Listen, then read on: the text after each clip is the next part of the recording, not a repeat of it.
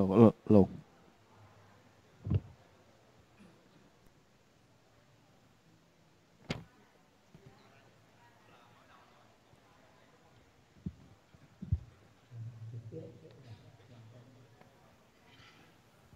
alo alo một hai alo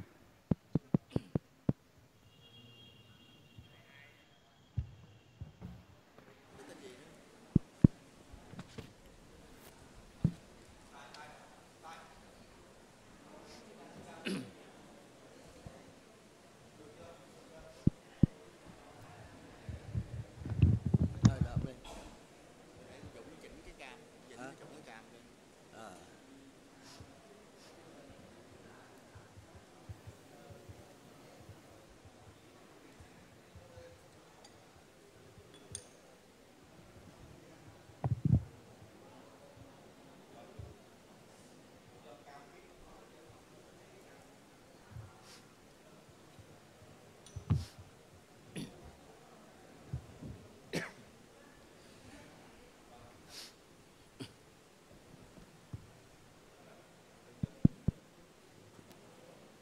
đầu, để bắt đầu buổi giải đáp buổi chiều ngày hôm nay, xin mời chị ở Hải Phòng đặt câu hỏi à vì chị có ở xa, chị sẽ về sớm à xin mời chị đặt câu hỏi à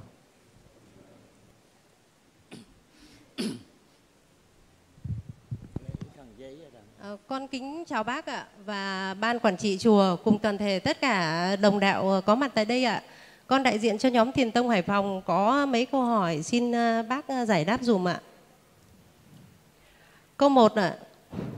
Các ờ, Phật gia của Hải Phòng đang ờ, cùng nhau ờ, tranh luận với nhau về cái vấn đề thứ nhất thứ nhất là là là người đứng lên nào người la à, người nữ tu, tu thì không về được Phật giới và người nam tu thì mới về được Phật giới và có một cái người lại trả lời rằng là người nữ tu cũng về được Phật giới và Ờ, không được ờ, có bổn nguyện ví dụ như là Đức Phật A Di Đà thành lập mà ở bổn quốc và ờ, không được có cái cái bổn nguyện là làm giáo chủ ta bà. Ví dụ là như thế.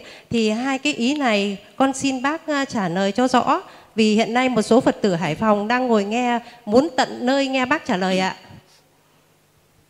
cái cái Phật á, thì ở bên Phật giới nó không có nam nữ thành ra bây giờ người nữ, người nam ở thế giới ta bà này tạo công đức. Thì con trở về Phật giới thì bên Phật đâu có nói nam nữ được. Bên kia gọi là điện từ quang, còn bên nay là điện từ âm dương.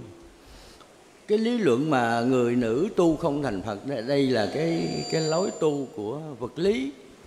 Là vì tất cả những người nam muốn ép người nữ vì người ta nói ở thế giới này người nữ là âm nhiều.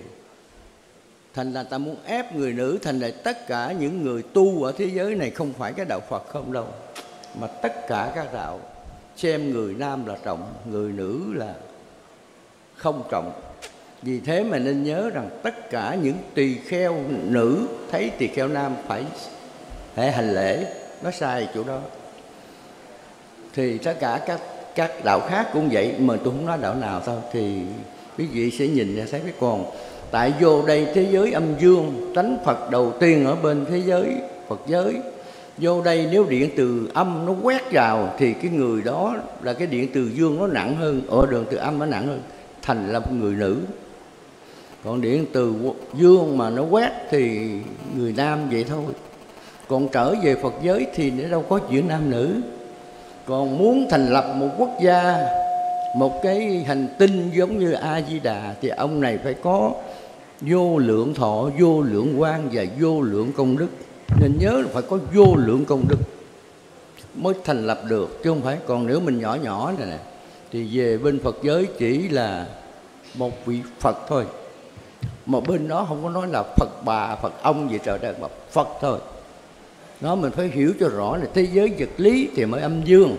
Về bên thế giới điện từ quang, không có âm dương mà chỉ có là quang sáng thôi. Có nghĩa là phật sáng phật sáng nhiều, phật sáng ít thôi. Thì sáng nhiều ta gọi là phật lớn, phật sáng ít gọi là phật nhỏ. Mình nói cho dễ hiểu thì thôi, ha. Thì bây giờ tu thiền tông, mình phải xác định rằng thiền tông phải là trí tuệ, không phân biệt không tưởng. Mà những vị hỏi đó thì hoàn toàn sử dụng cái tưởng. Nên nó sai. Rồi câu hỏi tiếp đi. Con cảm ơn bác ạ. À, câu hỏi thứ hai nè. À, thưa bác con người do nhân bản à, tạo ra thì có phật tánh không ạ? Bây giờ dù nhân bản hay gì á, thì cái người đó muốn thành một cái thân người thì ông quản ông thần quản lý bắt buộc phải đưa cái đưa cái trung ấm thân vào mới thành con người được. Nghe không? Còn nếu tuy là con người trở về tới cái thời văn minh rồi khoa học cao rồi thì bất cứ cái gì hữu hình làm thì phải có vô hình yểm trợ mới trở thành được. Còn nếu không có hữu không có vị thần yểm trợ thì hoàn toàn ở nhân bản nó không thành công. Vì thế mà nhân bản đâu phải là cái cái, cái nhân bản nào cũng là thành tựu hết được đâu. Có khi năm mười cái mới ra được một cái nhân bản thôi là do do cái nghiệp của ông thần ông đưa vào thì mới được. Còn nếu không có thì không được. Rồi câu hỏi tiếp. À, con cảm ơn bác. À, thưa bác có những cặp vợ chồng không sinh con thì lý do tại sao ạ? Cái này là do cái nghiệp thôi. Thế bây giờ nè nó thật á là có nhiều người tại làm sao mà đến thế giới này không có vợ không có chồng là vì trước khi đi vào thế giới vật lý này là giới, thế giới này là làm vợ chồng con cái nhưng mà bây giờ không có cái nghiệp đi hồi đó mà có một mình thôi. Từ ở thế giới từ cái dòng tộc đưa lên đây bảo mày đợi đi đợi uh, đi trước rồi đợi cái cô này sao đã làm vợ mày nó không chịu nó đi tôi đi mình tôi không làm. Thì qua đây đâu có ai đâu. Thì cái người vợ chồng cũng vậy nó không có nghiệp thì hoàn toàn đi tìm không có bởi vì thế giới này gọi là thế giới nhân quả anh không có nhân thì làm sao có quả? Anh muốn vô đây anh đi solo một mình hoặc chị đi solo một mình thì qua đây làm gì có cái nghiệp cái, cái nghiệp. Thế giới này gọi là thế giới nghiệp. Mà nếu mà mình không có cái nghiệp vợ chồng nhau thì làm sao có? Đó thì mình phải hiểu cái nguyên tắc này. Thế giới này căn bản là thế giới là nhân quả có nhân mới có quả. Vô đây có ví dụ, hai hai người đó vô vợ chồng nhau, có nhiều khi người vợ làm nuôi người chồng người chồng nuôi làm người vợ là do cái nghiệp của người ta, bắt buộc phải trả.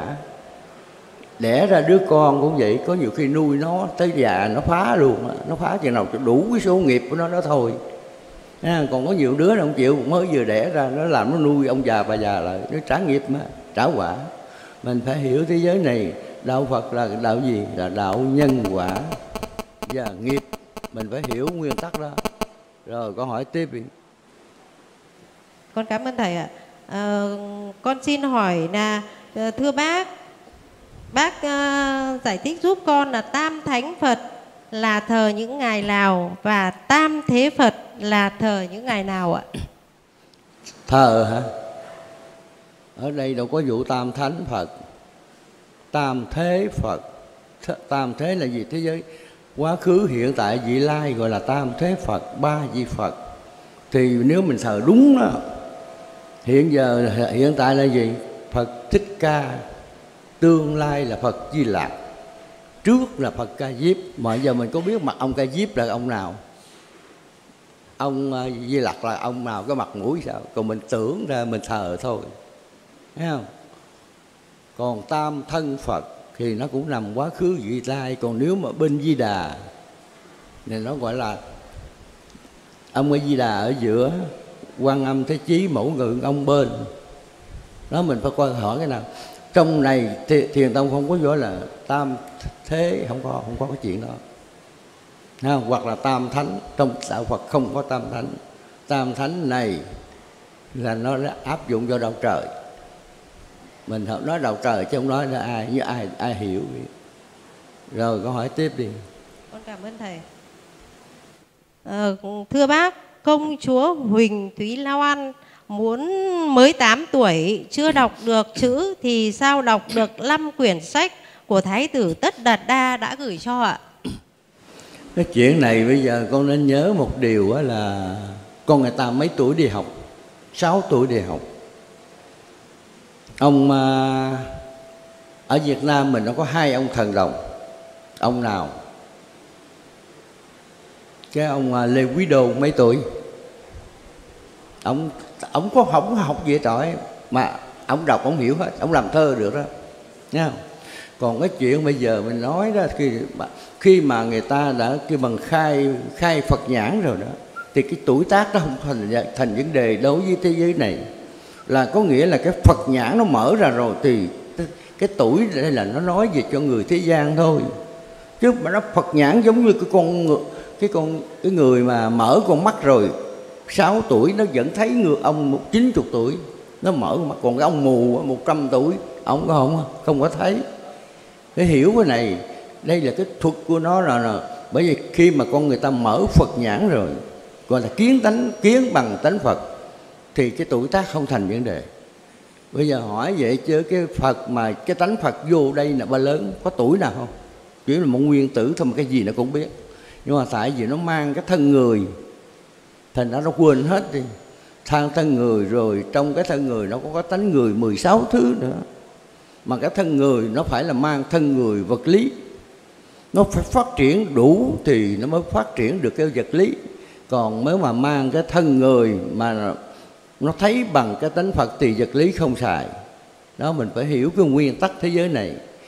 Đạo phật nó hơn đạo người ta một chút xíu là biết suy nghĩ và hiểu được cái ba thời quá khứ hiện tại vị lai. Đạo truyền tông nó hiểu được cái này. Còn thường thường mấy cái, cái tiểu thừa với trung thừa với uh, gọi là nói gì vật lý người ta không hiểu cái này. Vì thế mà tất cả các năm pháp môn trước đức phật dạy gọi là tu tưởng. Vì sao tu tưởng? Thì vừa rồi mấy tuần tôi đã nói rồi. Sờ con voi cái lỗ tai thì tưởng giống cái quạt thì ta nói cái quạt chứ không phải con voi đâu, có phải là cái quạt gọi là tu tưởng. Sờ cái gì? Tưởng tượng nói cái nấy. Thiền tông không cho tưởng, mà cho trực diện liền. Trực diện cùng kiến tánh thành phật không kiến tánh không thành phật được. Rồi con hỏi tiếp đi. Con cảm ơn bác. Con xin hỏi câu cuối cùng ạ. À. à, thưa bác tha tâm thông là gì? Yếu chỉ bát nhã tâm kinh là gì? Con chưa hiểu xin bác giải thích giúp con ạ. Tâm thông tha tâm thông là bây giờ mình phải hiểu đó là tam tam kêu bằng uh, tam thông tứ vô sở quý, thập bát bất động tam thông, ba thứ. Thiên nhãn rồi lậu tận, tất cả những cái gì, cái tha tâm thông này là mình thấy được tất cả thông suốt hết. Cái bằng nói nó phải là, nói về lục thông. Tam minh lục thông tứ vô sở quý. Còn cái tha tâm thông có nghĩa là mình thấy một cái khía cạnh nào mà rất rõ ràng. Ví dụ chẳng hạn như là cõi vô hình, mình thấy rất rõ ràng. Mà bây giờ ừ, khoa học chứng minh rằng mình muốn thấy cái này, bây giờ giống như cái những cái hình ảnh mà mình nói ra, xem trên cái màn hình này nè. Hồi xưa nói trong không gian này có hình không thấy, mà bây giờ khoa học có đưa ra hình ảnh mình mới thấy rõ ràng người ngồi ở đâu, nói gì nó biết hết. Mà thấy rõ ràng. Nghe không? cái gì nó cũng đến rất rõ ràng đó rồi là nếu mà nói câu này là ta minh ba ba cái minh lục thông sáu cái thông mà trong đó có cái tha tâm thông. Rồi thập bát bất động là có là 18 cái cái cái cái cái cái thần thông đó, của a la hán đó. Mà nếu muốn mà thập thập bát bất động thì duy nhất ông thích ca mới mới tu được cái thập bát bất động thôi còn tất cả những dự mà nhỏ nhỏ dưới thì năm năm, sáu cái thông thôi. Thì điển hình là nói gì tới điên hòa thượng đó, nó mới chỉ có bốn thông thôi, chứ không chưa tới đến cái năm. Còn những người mà tu mà họ tích được hay là mới có một thôi à. Mình phải hiểu. Vì thế mà mấy ông tiểu thừa nói ông phật vẫn tu chứng a la hán ông ông phật nói là thật, phật thì thành tốt độ luôn a la hán cũng tốt cùng luôn phải hiểu cái nguyên tắc của của cái thế giới này. Thấy không? Rồi con hỏi tiếp đi. Ờ, còn câu yếu chỉ bát nhã tâm à, kinh chưa, bát, chưa bát nhã là trùm khắp. Mình thấy là mình thấy trùm khắp thôi. Thấy không? Vì thế mà trong thường thường trong kinh bát nhã bát nhã tâm kinh là cái tâm kinh là nói một cách rất rộng rãi. Chữ bát nhã là nó trùm khắp nó nó rộng rãi đó tiếng việt nam mình là rộng, nó rộng rãi. Ví dụ cũng một cái lý luận đó, nhưng mà ta lý luận rất lớn. Còn cái người mà không có cái cái bát nhã này này nói trong cái, một cái khía cạnh nhỏ thôi, nó không phát triển được. Nha. một cái vấn đề mà người ta giải thích về bát nhã, người ta giải thích rất trùng khắp. Một cái chữ thôi, một cái ông tiến sĩ dạy khác, một ông đại học dạy khác, một ông lớp năm, học lớp năm dạy khác đó là ý là vậy. Vì chữ uh, bát nhã là coi là trùm khắp. Cho người là mình nói tiếng hiện tiếng Việt Nam mình là rộng rãi giải thích bằng một cách rộng rãi. Rồi thắc mắc hỏi tiếp. Dạ, thôi ạ con cảm ơn ờ, thầy cùng ờ, các bạn đã lắng nghe ạ. Hello. tiếp theo tiếp theo là phần đặt câu hỏi của bên phía Hà Nội xin mời kỹ thuật liên kết với lại bên Hà Nội Vâng. À. Kính thưa soạn giả Nguyễn Nhân cùng ban quản trị chùa Thiền Tông Tân Diệu, chúng con xin được phép đọc câu hỏi như sau. Câu 1. Vũ trụ bao gồm những gì ạ? Vũ trụ Chứ chữ vũ trụ này là hỏi không có hết Phải là gọi là càng khôn vũ trụ chữ vũ trụ là chữ là không gian, càng khôn là bao khắp. Chữ tràng chữ càng khôn gọi là bao khắp. Thì hỏi là phải là càng khôn vũ trụ là gì? Thì càng khôn vũ trụ nó là một cái không gian không biên giới. Nó bao khắp không biên giới, gọi là càng khôn vũ trụ. Mà trong cái càng khôn vũ trụ nó chứa hai phần. Một là phật giới, hai là tam giới à, giống như cái biển nó chứa hai phần. Một là cá hai là thực thực vật dưới à, ở dưới biển. Nó giống như trong cái cái càng khung vũ trụ nó có hai phần thôi. Một là phật giới. Trong phật giới nó chứa được những cái gì nó khác nghe không? Rồi cái mà trong cái càng khôn trụ nó chứa cái là trong tam giới, trong tam giới là nó quay theo quy luật vật lý âm dương. Nó có hai thứ. Một kia, bên kia là thanh tịnh, bên này là nó theo, nó quay theo quy luật vật lý âm dương. Đó, phải hỏi cho đúng cái câu nó là vậy. Rồi, hỏi tiếp đi.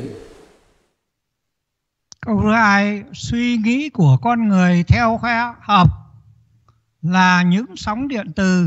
Vậy nó có tác động vào vũ trụ hay không? Và nếu có thì tác động ấy thế nào ạ? Cái, cái gì? Nó lặp lại lặp. Suy nghĩ của con người là sẽ theo sóng điện từ thì nó sẽ tan hợp như thế nào ạ? Cái suy nghĩ nó suy nghĩ trong trong những người là từ trong cái tánh con người nó phát ra. Từ trong cái tánh phật nó phát ra. Nó không có theo sóng điện từ được mà cái tiếng nói thì nó pha theo cái sóng điện tử. Mà bây giờ dù nói hai cái gì nó cũng nằm ở trong cái trong cái cái hạn hẹp của cái dòng một tam giới thôi. Là dòng một của trái đất thôi. Thấy không? nó không phát ra được quy, ngoài cái quy lực này. Có nghĩa là nó chỉ nằm gọn ở trong cái trong cái hệ hành tinh, trong cái tam giới của mình, nhưng mà nằm trong cái hệ hành tinh của mình thôi còn nếu mà nó có một cái công suất mạnh thì nó phát ra được nhiều cái hành tinh kế bên đó thôi. Chứ nó không phát hết nổi cái nguyên một cái hệ thống kêu bằng cái bầu hoàng đạo một không có phát nổi.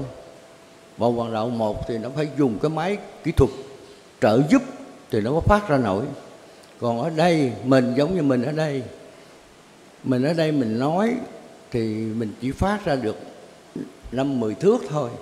Còn kỹ thuật nó đưa dùng cái điện nó đẩy đi nó đẩy đi tùy theo cái megahertz của nó. Ví dụ một ký megahertz nó phát đi 10 10 thước một trăm thước. 100 megahertz thì nó phát 100 cây số. Nó vậy đó cái công suất của nó. Nó theo khoa học nó nó giải thích vậy. Còn cái suy nghĩ mình nó chỉ phát, suy nghĩ tới chỗ nào mà nó suy nghĩ mình nên nhớ rằng nó suy nghĩ mà cái mà nó đã đến rồi á, thì nó suy nghĩ rất đúng. Còn cái suy nghĩ mà nói cái chưa đến thì gọi là cái tưởng tượng suy nghĩ là nó bị sai. Nó phải hiểu cái thế giới vật lý này nó vậy. Rồi hỏi tiếp đi. Câu thứ ba theo khoa học thì suy nghĩ tốt tích cực sẽ tạo một năng lượng từ trường tốt cho người đó và cải thiện những điều tốt điều này có đúng không? Tại sao ạ? Này hoàn toàn sai. Bây giờ cái, bây giờ mình suy nghĩ và hành động. Suy nghĩ tốt, hành động tốt thì lợi ích con người. Suy nghĩ xấu, hành động xấu là tàn hại con người. Không phải vậy, không phải suy nghĩ là có tác động có đó. Còn mấy cái ông mà tu vật lý ông nói là suy nghĩ tốt là thầy có công đức đừng đừng có tin cái chuyện đó. Thiền tông bắt buộc anh phải nói bằng sự thật hết. Cái gì vậy, từ vật, hữu hình, vô hình, anh phải nói bằng sự thật. Bởi vì thì thiền tông nó là tinh hoa của nhân loại, là nằm ở chỗ này. Chứ đừng có tưởng là mấy ông nói, bây giờ vì nó chết là cái chết cái chỗ này bây giờ nói à, mấy ông, tôi không nói ai, đưa tiền cho thầy đi, thầy sẽ cúng hồi hướng thì con có công đức còn lâu ông lừa người ta. Giữa ông giữa ông lừa và cái ông bị lừa này, cùng nhau đi đi theo nhân quả đó. Đưa cho ổng đi, thì ông giúp cho người kia. Không có khổ, thì giữa ông và người này có phước. Mà đưa cho ông ông đi mua đất để ông kinh doanh, thì ông và cái người này chẳng chết luôn. Theo cái quy luật vật lý, nó giật ông ông lừa người ta mà. Mà cái người bị lừa này thì cũng đi theo cái ông lừa thấy không? Bởi vì tòa án nó xử cái cái cái mà cái vật dụng mà nó gây án này là do ai đưa? Nếu tự ổng đi mua nó khác mà tự cái ông A đưa cho ổng thì ông này gây án thì cái ông A xếp vào đồng loạt đó mình phải hiểu thế vật lý này nó vậy. Đó, mình phải hiểu cái nguyên tắc này chứ đừng có tưởng suy nghĩ tốt rồi có hoàn toàn không có. Suy nghĩ và hành động phải hai cái này kèm đi theo. Vì thế mà luật pháp nước Việt Nam mình anh suy nghĩ anh giết người mà anh đừng có giết không có tội gì hết. Thấy không? anh suy nghĩ anh giết đi. Rồi bắt đầu nó ghép vào cái tội tội như thế nào đây thì nó ghép vào. Trong tội cố ý hay là tội vô ý vậy đó, à, mình phải hiểu thế giới vật lý này mình phải hiểu cho rõ. Chứ đừng có tưởng tượng. Thấy không? đừng có tưởng tượng suy nghĩ tốt là đừng trên trái đất này suy nghĩ và hành động mất có kết quả thôi suy nghĩ chưa hành động chưa kết quả rồi, hỏi tiếp đi công thức về Phật giới, lộ trình về Phật giới và lời dặn dò về Phật giới trong ba câu này, câu nào quan trọng nhất để biết đường trở về Phật giới ạ? À? Xin thầy chỉ rõ giúp chúng con. Ba này giống nhau. Chiếc xe anh tài xế và xăng thiếu một cái không là không, chiếc xe không chạy được. Trong cái này, ba cái phương pháp này về Phật giới mà thiếu một cái là không làm được giống như tôi nói như tí dụ rõ ràng, giống như một chiếc xe không có tài xế, có xăng, có xe xe nằm im có hai thứ kia mà không có xăng thì xe cũng đứng tại chỗ. Về Phật giới nó phải đi đi song song. À, quan trọng bằng nhau. Chứ đừng có tưởng đâu. Bây giờ cái cái tổ chức cái xã hội này nè anh chỉ huy nè không? rồi anh công nhân nè. Mình tưởng là ông giỏi rồi ông chủ nè. Ba ông tuy là ba chứ sự thật nó bạc nó dùng một. Anh đừng có xem thường ông công nhân ông công nhân mà ông không làm mà sao? mấy ông có tiền ông ngồi đó anh ngồi đó ông làm gì được đây? Thấy không? Mình phải hiểu cái gì thế giới này?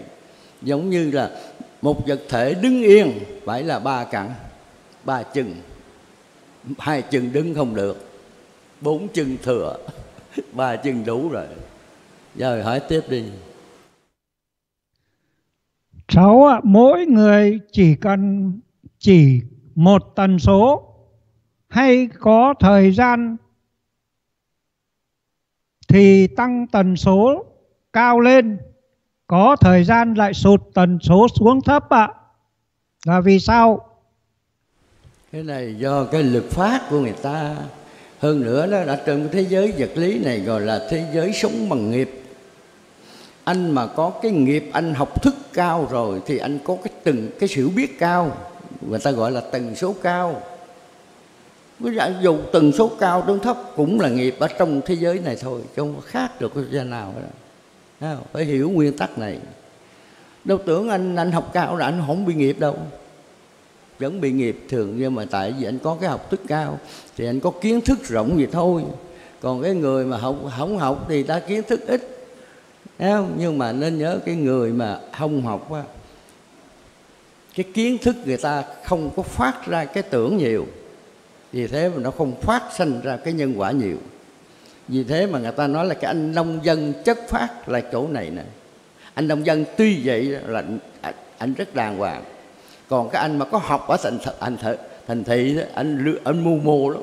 Lừa bởi vì có nhiều người lừa là phải đi học mới có người đi lừa. Chứ cái anh nông dân không đi lừa ai được hết. Anh đâu có kiến thức đâu đi lừa. Tại anh đi học giỏi rồi mới lừa tìm mưu mô đến lừa người ta mình phải hiểu cái nguyên tắc này. Thấy không? Rồi tất cả đều do nghiệp, sống trên thế giới này do nghiệp hết. Không có ai mà thoát ra cái quy luật này. Anh làm tôi nói cho bây giờ làm cái gì anh cũng phải là do nghiệp. Cái nghiệp phước phước ít, phước nhiều. Anh cắt cái nhà 10 tầng là anh có 10 tỷ. Anh cắt 2 tỷ thì có 2 tầng. Thì cũng do cái nghiệp anh thôi. Nên mình nên nhớ rằng tất cả những người mà càng cao thì nghiệp càng đổ càng nặng. Nên nhớ một điều vì thế mà đức phật có nói anh chạy 100 cây số mà anh đụng quá thì anh chết liền. Anh chạy 10 cây số anh đụng u đầu thôi. Nó, nó cũng chạy nhưng mà cái lực của nó vậy do cái nhân quả của, của thế giới này. Bởi vì đạo phật thiền tông anh phải hiểu được cái tinh hoa của cái đạo phật nó phân tích ra rất hay. Mình phải hiểu cái này thì mới hiểu được cái đạo phật thiền tông được. Còn nếu mình không có hiểu cái này thì mình không hiểu được cái cái thiền tông đâu. Cái thiền tông bây giờ vừa công bố ra 60% mà nó nói rồi, muốn gỡ tung cái đất này ra luôn. một trăm phần trăm thì thầy thấy. Đó tôi hiểu nguyên tắc này. Bởi vì đạo Phật Thiền Tông là cái tinh hoa nhân loại là cái chỗ này chứ không chứ không ai nói là đạo tiểu thừa ha đạo cúng là tinh hoa của nhân loại không có cái chuyện đó. Đạo cúng đạo tụng không phải là tinh hoa mà tinh hoa nó nằm trong sự hiểu biết của thiền tông. Rồi anh hỏi tiếp đi. Những người có cùng tần số có thể cảm nhận biết nhau được không ạ? Lập con lập những người có cùng tần số có cảm nhận và biết nhau được hay không ạ? À? không không không được. Bởi vì cái, cái cái tần số này nó bây giờ nè khoa học ra đời. Hệ thống mà điện nó ra đời thì nó mới mới mới, mới tính được cái chuyện này. Bây giờ mình nói nếu nó cảm thông được nếu mà nó vừa cảm thông là nó rối rồi nó rối liền. Bây giờ mình tính ra nè hiện giờ là cái làn sóng điện hoặc là cái điện thoại nó phát tại Việt Nam mà nó không 90 triệu người mà dường như có 60 phần trăm có số, có điện thoại đó. Mình suy nghĩ đi thí dụ tôi cho 80 triệu người, thì có khi nào 80 triệu người này mà cái làn sóng điện nó đụng nhau, hoàn toàn không có được. Nó phải phân biệt cái chỗ này. Nó mình phải hiểu vì thế mà thiền tông ra đời phải là khoa học mới chứng minh được. Dù anh ở tần số nào, nó cũng không ăn nhầm với trò trơn tuy là nó ở trong một cái không gian nhỏ nhưng mà nó không dính nhau nó không cảm thông được cái gì rồi. Nhưng mà anh bắt được cái tần số nó thì anh mới nói được với nó thôi. Đó, bởi khoa học chứng minh thiền tông muốn phát triển thiền tông khoa học phải tiến triển thì thiền tông mới giải mã được. Còn không phải hoàn toàn nói cho vui thôi. Nếu mà khoa học chưa phát triển thì giống như mù người mù rồi voi nói cho vui thôi. Anh đụng gì anh nói đó rồi, anh hỏi tiếp đi. Thưa thầy, ông con mới mất. Một hôm, con nằm mơ, đi bộ ra mộ, thấy ông nằm. Ông ngồi dậy như một vệt hào quang sáng rực vụt lên trời và ông nói, ông đã siêu thoát. Ông cứ nói vậy và bay lên trời cho con hỏi hiện tượng đó là sao ạ? Mình muốn ờ, hỏi cái đó mình phải hiểu cái nguyên tắc cái thế này này nếu mình mà tu ở đây mà tu phước cái giảng sanh lên trời 5 phút đi rồi, còn làm dù quay trở lại hỏi quay trở lại nói, ông lên trời, không có cái chuyện đó. Cái ông, cái người nói là ai? Là do thảnh nó thấy, bây giờ nói nè, bởi vì người ta chết là chết cái vụ này diễn tả đúng rồi. Rồi hỏi giờ ông muốn gì? Tao muốn ăn. Thì ngày mai cúng liền. Muốn cái gì là cúng. Mà thứ nhất là mấy cái ông mặt nhìn thấy được cái cõi vô hình, ông bịa cái này nè để chi? Để cái người mà gia đình người nào mà có tiền á, họ mua thức ăn họ cúng, hoặc là họ làm cái gì nghe ông có ông có lợi thôi. Bởi vậy thành ra đức phật mới bàn một câu, đừng có tin bất cứ gì cái hình ảnh trong thế giới này hình ảnh thế giới này là ai? Do thánh làm đó. Thì tôi nói thánh thôi rồi muốn hiểu thánh nào thì hiểu. Tất cả những gì mà nói ra trên này hoàn toàn đi lừa người ta. Không có thật cái đi. Thôi mình sống bằng cái duy vật biện chứng pháp. Theo mấy ông xã hội chủ nghĩa đi. Không có bài, không có không có làm ai đó. sống bằng một cái duy vật biện chứng pháp không khi nào bị lừa. Tôi bảo đảm như vậy một trăm phần trăm còn mình sống theo cái tư tưởng hoàn toàn nó lừa mình hết. Rồi hỏi tiếp đi. Chủ trương của thiền tông không quỳ lại bất cứ ai. Như vậy có bị coi là hiểu lầm sang là không coi trọng người khác không ạ? Bây giờ cái trọng người khác ví dụ ông bà mình thì mình cảm ơn ông bà mình thôi chứ đã thế giới này là ngũ thú tập cư, thần người ngạ quỷ, và mình lại thần để lại xin cái gì? Người là mình, người là mình, ông bà mình đó có công nuôi dưỡng đẻ, cha mẹ mình đẻ ra, thì mình cảm ơn ổng thôi. Cái đó là theo cái nhân nghĩa lễ trí tính đủ rồi. Không phải lại. Còn ngạo quỷ, không lẽ mình lại ngạo quỷ xin cái gì đây? Thấy không? Mình phải hiểu. Bởi vì trước khi đi vào cái thiền tông, anh trước mắt anh phải học năm thứ. Thứ nhất, nhân nghĩa lễ trí tính thứ hai, ngũ thú tập cư. Thứ ba, nhiệm vụ loài người. Loài thần, loài một, đạo quỷ, mỗi người có một cái nhiệm vụ. Thần thánh là ai? Cái những cái hiện tượng mà gọi là trời này kia nọ là ai? Phật là cái gì? Phật là người toàn giác dạy cho mình hiểu trời. Ông phật trời là ở thế giới trời chứ ông xuống đây giống như mình lời người không thể xuống dưới biển sống được không thể xuống biển cất nhà sống được. Rồi mình nghe lời ta xuống biển cất nhà đi rồi mình sống nổi không? Bởi vì thiền tông tu bằng trí tuệ không tu mù. Thiền tông hoàn toàn không tu mù. Người, người mà tu thiền tông bắt buộc anh phải tu bằng trí tuệ. Còn không trí tuệ anh phải kiến tánh anh mới tu được còn không kiến tánh thì phải đợi quyền ký công bố ra. Coi theo quyền ký mà tu thì mới không sai. Rồi hỏi tiếp đi. Tu tập thiền tông, học thêm thu năng lượng vũ trụ, cảm thấy thân tâm rất thanh tịnh, không bệnh là vì nguyên do gì ạ? Mình bây giờ tất cả những gì á, bây giờ mình nói không có vũ trụ gì đó. bây giờ anh có mệt, anh ngồi hít thở cho mạnh 3 phút, ba cái, tự nhiên con người nó khỏe rồi vì con người mình nó thiếu hơi, thì hít vô thôi. Còn cái năng lượng vũ trụ là mình là gì? Là âm dương, nó đang thiếu dương hay thiếu âm gì đó. Thì mình dùng cái thuật để hút vô. Nhưng mà cái đó là cái gì? Còn thấy mà nó khỏe, mình coi chừng. Tại vì làm sao? Mà các nơi mình đến, mình cúng, mình lại, mình thấy này, thấy kia, là ai giúp cái này? Thì đã nói rồi, nhiệm vụ ba loài thần người ngạ quỷ. Tu thiền tông phải nắm chục vững cái này. Linh thiêng là ai? Mình phải hiểu cái này. Thì mới mới có nói được cái vấn đề mà cái chuyện mà năng lượng vũ trụ. Năng lượng vũ trụ là cái gì? Vũ trụ điện từ âm dương. Điện từ âm dương không thể nó đưa vô mình được mà mình có thể dùng cái thuật kéo cái điện dương vô được, thấy không? Nhưng mà nên nhớ rằng mình không có khả năng này.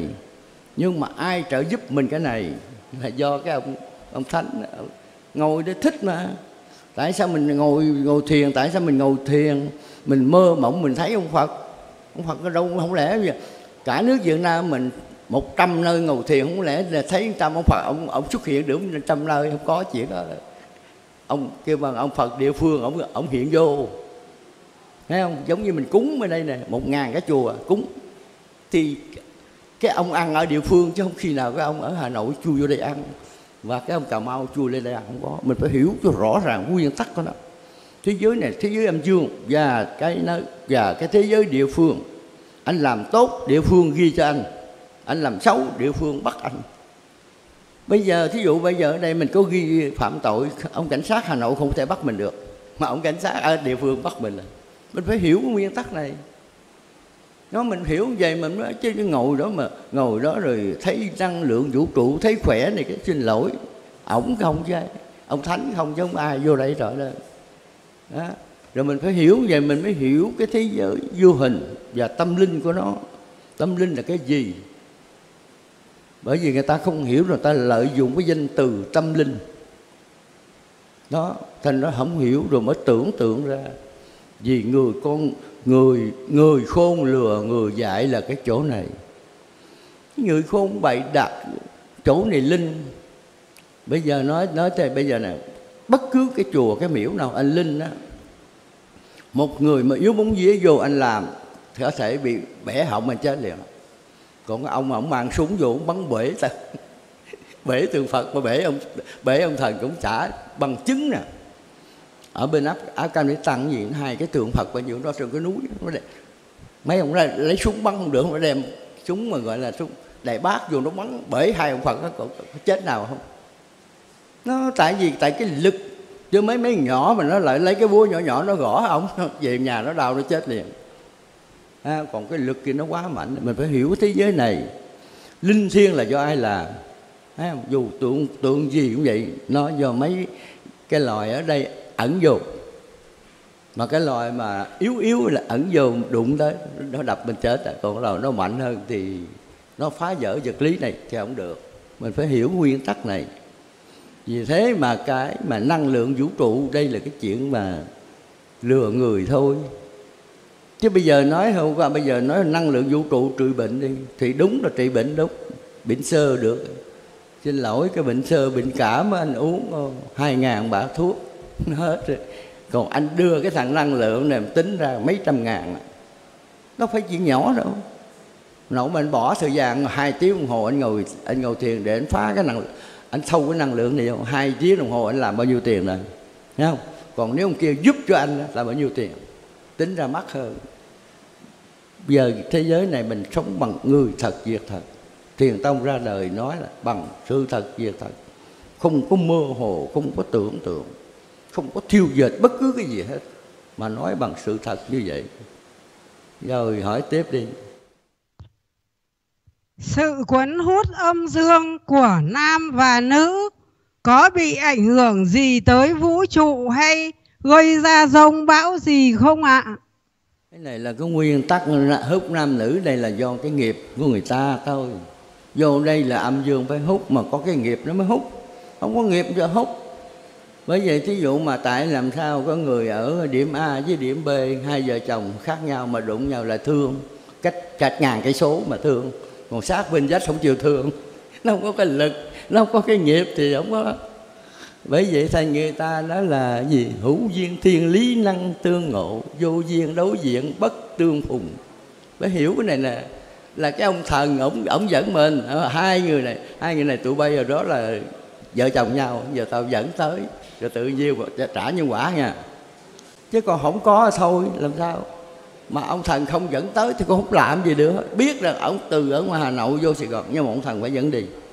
À, ông thần cũng biết không thân, bởi vì người ta có cái lực mà ta đi từ đây qua mỹ ta đi trong vòng mấy giây tới rồi mình phải hiểu cái thế giới này.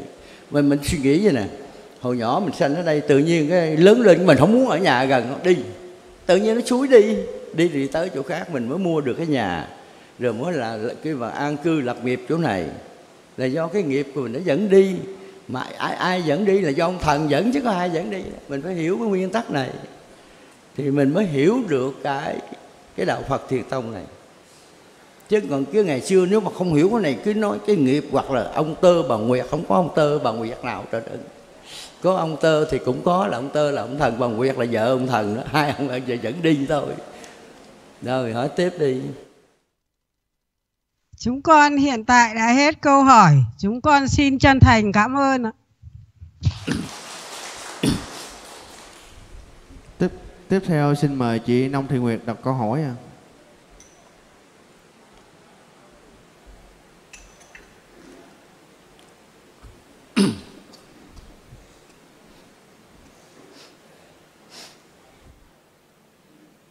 Con là Nông Thị Nguyệt ở 42 bis Lý Tự Trọng, phường mỹ Nghé, quận 1, thành phố Hồ Chí Minh. Hôm nay đến đây con xin hỏi soạn giả Nguyễn Nhân 5 câu hỏi ạ. Dạ. Câu thứ nhất, trong trang mạng người Phật tử.com, tác giả Đức Thảo có nói tập huyền ký của Đức Phật là ngụy tạo vì thời Đức Phật còn tại thế chưa có chữ viết. Vậy xin soạn giả Nguyễn Nhân cho con hỏi thời Đức Phật còn tại thế đã có chữ viết chưa? Thứ hai là thời tập kết kinh điển lần một lần hai lần ba được trùng tu bằng cách nào ạ? Bây giờ trả lời chữ viết hay không thì nữa đúng là tôi thì lúc đó tôi cũng chưa sanh làm sao tôi biết. Đấy không? Nhưng mà căn cứ vào cái lời mà của Thái tử Tất Đạt Đa gặp vua Hùng Nghị Dương, thì ông xác nhận là cái thời nước ca tỳ la vệ ông có chữ viết trên ba ngàn hai trăm mấy chục năm. Còn nước văn lan có trước lập quốc hai ngàn năm trăm năm. Thì ông Phật Thích Ca thì làm sao mà? Bây giờ nếu mình nói về cái chữ viết đi, tôi hỏi, nếu không có chữ viết về chứ rồi nội cái kinh kim cang không đó là 600 quyển ai viết ra. Kinh trường a hàm 1800 quyển ai viết ra. Ai không lẽ bây giờ mấy mấy cái ông sau này ngồi viết? Thấy không? Bây giờ nó đúng là tu thiền tông thì phải tu bằng trí tuệ.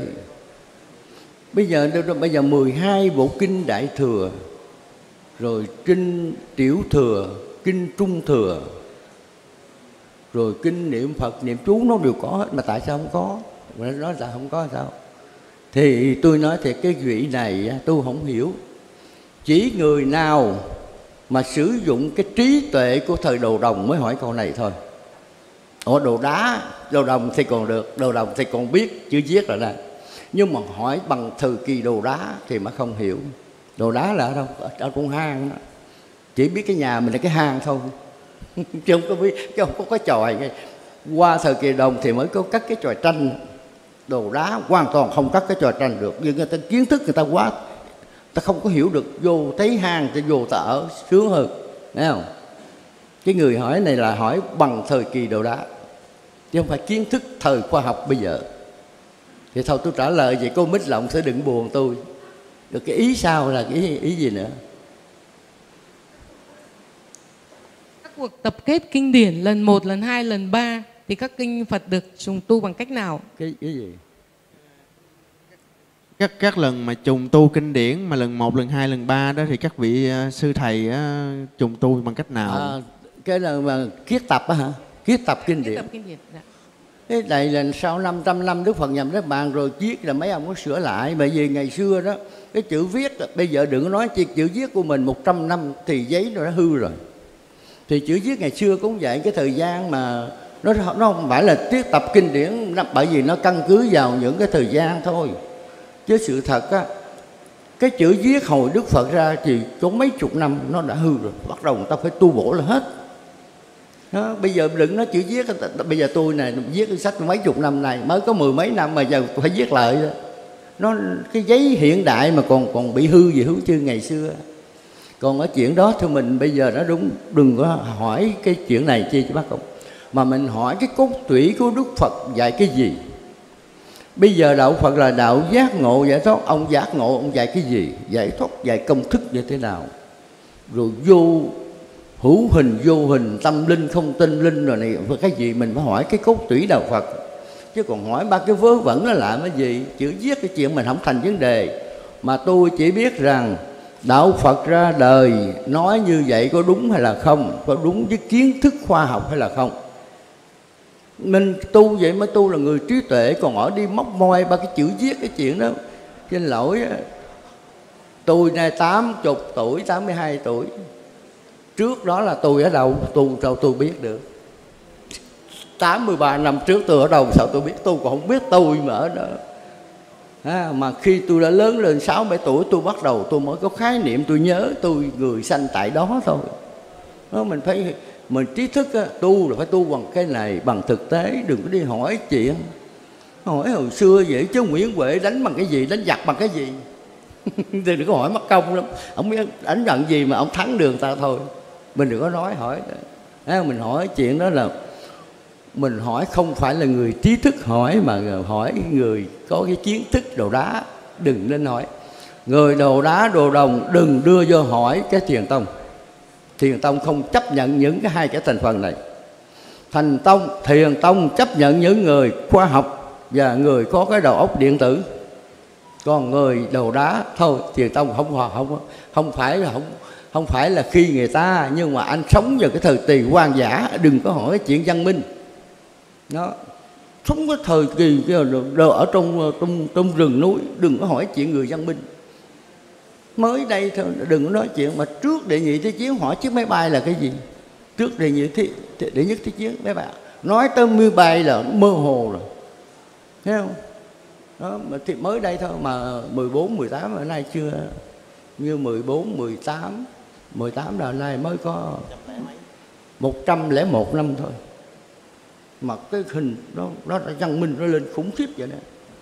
Nghe không? còn mình muốn vô thiền tông hỏi, thì nên hỏi bằng cái đầu khoa học. Còn cái đầu đầu đá thôi dẹp thì đừng có vô đây. Người ta đang đang chạy đang bay máy bay mà bay đạp, bay theo. Dùng dùng con cái cánh bay theo, đừng là đừng có làm cái chuyện này. Nghe không? mình bay theo, người ta nói mình điên. Máy bay người ta bay ào ào, cũng thấy người ta bay, tưởng như mình bay theo. Sao những cái chuyện ông nói chuyện không không giống ai hết rồi hỏi câu khác đi trong trang mạng người phụ tử.com có bài VTV một cần có trách nhiệm vì tiếp tay cho thiền tông tân diệu phá hoại chánh pháp. Tác giả Chính Ngu có nói Đạo Phật là đạo giác ngộ và giải thoát là chuyển cái nhìn mê ra ngộ. Nghe rất mơ hồ, vậy xin soạn giả Nguyễn Nhân giải thích rõ. Mê là gì? Ngộ là gì? Giải thoát là giải thoát khỏi cái gì? Và giải thoát đi về đâu? bây giờ nếu mà trả lời thì tôi ngu theo theo cái ông tiên ngu này đời đó cơ người ta nói rõ như ban ngày không không hiểu bây giờ tôi nói đừng có lấy cái đồ cái cái đầu đồ đá mà hỏi cái chuyện nguyên tử thấy không mình đừng có hỏi nó đúng ra cái hỏi này thì cũng cảm ơn nhưng không nên trả lời. Bây giờ ta đã công bố rõ ràng cái ngày 14 tháng 5 ta công bố hết 60 phần trăm. Thì muốn lên trên mạng coi giải thoát gì ta nói rõ ràng dạ, giác ngộ gì ta nói rõ ràng rồi. Mà cái này tôi nói thật á cái người hỏi này cái đầu óc nó, nó kém quá đi cái giác ngộ hay là giải thoát này là nhà xuất bản cho xuất bản đàng hoàng, nhà xuất bản tôn giáo, nhà xuất bản văn học cho xuất bản đàng hoàng. Mà công bố chính quyền tỉnh Long An cho công bố, giáo hội tỉnh Long An cho công bố. Báo chí đến nghe, cả ngàn người đến nghe. Không lẽ một mà ngàn người kia là dốt ở ở sống đồ đá hết hay đâu thành ra cái câu này nếu mà trả lời thì tôi cũng thành đồ đá luôn. Tôi không trả lời, thấy không? Bây giờ đề nghị nâng cấp cái trí của người này lên bằng cái khoa học đi lên đây tôi trả lời. Còn nếu tôi trả lời cái này thì tôi thì giống như con khỉ đột ngồi trong hang đá, không được.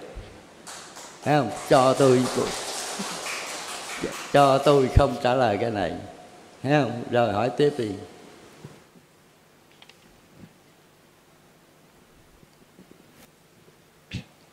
Tác giả trí ngu nói như ngài vĩnh gia huyền giác thông cả ba thông thiền hoa nghiêm thiên thai nhờ đọc kinh duy ma cật mà phát minh tâm địa. Vậy xin soạn giả nguyễn nhân giải thích cho con rõ một phát minh tâm địa là gì? Hai Ngài Duy Ma Cật là một cư sĩ, tại sao lại được Đức Phật ấn chứng và để lại cuốn kinh Duy Ma Cật quý như vậy ạ? cái này ờ, đi tìm ông cái ngu này thì hỏi ông hỏi ông thích ca tại sao ông ông thu nhận ông duy ma cật? Tôi bây giờ mới sống là mấy chục năm nay, làm sao tôi biết chuyện mấy ngàn năm trước? Còn chuyện ông diêm mà cật ông thích ca kêu ổng trả lời thì cái này hỏi ổng chứ đừng hỏi tôi, làm sao tôi biết? Thấy không? tôi chỉ biết người thật việc thật trả lời tại đây mà trả lời bằng khoa học. Còn ngu quá, sao tôi không dám? Bây giờ tôi nghe chữ danh từ thí ngu là tôi hết hồn rồi. Nó trúi ngu rồi mà đi hỏi cái người người ta, hỏi bằng khoa học không chứ? Đã tí ngu hỏi bằng khoa học có ông nội tôi không dám nói nữa. À, phải hồi đó đặt sao đặt trí khôn đi. Tôi ráng tôi trả lời chút này trí ngu quá. Đã ngu quá. Giống như ra đường này tôi giờ ông già xe rượu đi lình xình. Đừng có đụng tới ông ông đụng ông chết liền á. Tôi trả lời ông ông ông nghe là ông bật ngửa ông chết luôn ạ thôi thấy không? Mình đi xe bất cứ thấy ông già xe rượu làm ơn đi né, né ổng đi. Ổng gần tới ổng ông phan vô xe mình là mình ở tù chung với ổng thôi. Kêu ổng á, bây giờ giờ cô về cô nhắc lại, ông đặt là trí khôn đi. Nhưng mà nên nhớ trí khôn, phải hỏi bằng cái đầu khoa học, tôi trả lời. Nghe không? Hỏi bằng hình ảnh không gian, tôi trả lời. Chứ trời nó ngu quá, đã ngu mà còn nói chuyện moi chuyện của ông thích ca ra. Ông thích ca làm sao tôi biết ông? Sở dĩ tôi biết cái này là do mấy ông tổ truyền lại có sách vở đàng hoàng, tôi tôi lấy cái sách vở này tôi xuất bản lại thôi, chứ tôi đâu có moi hơn cái gì đâu. Khi mà ông thiền sư thí đức hà tạ đưa cho bà bà đức thảo này là sáu quyển sách, chứ không phải nhỏ đâu. Trong đó có có cái quyển không có chữ, là quyển giáo lý, không có chữ, kinh vô tự. Mà tôi cũng may mắn là mấy cuốn kia nó còn chữ, thành ra tôi mới móc ra tôi sửa lại, tôi coi lại à, chính cái bài cái bài mà của ông ờ, ông thích đức hà đưa là ai? Cũng do một người khác dịch ra chứ không phải bằng giấy thường do không phải là in thường dịch ra dịch ra viết bằng cái gì?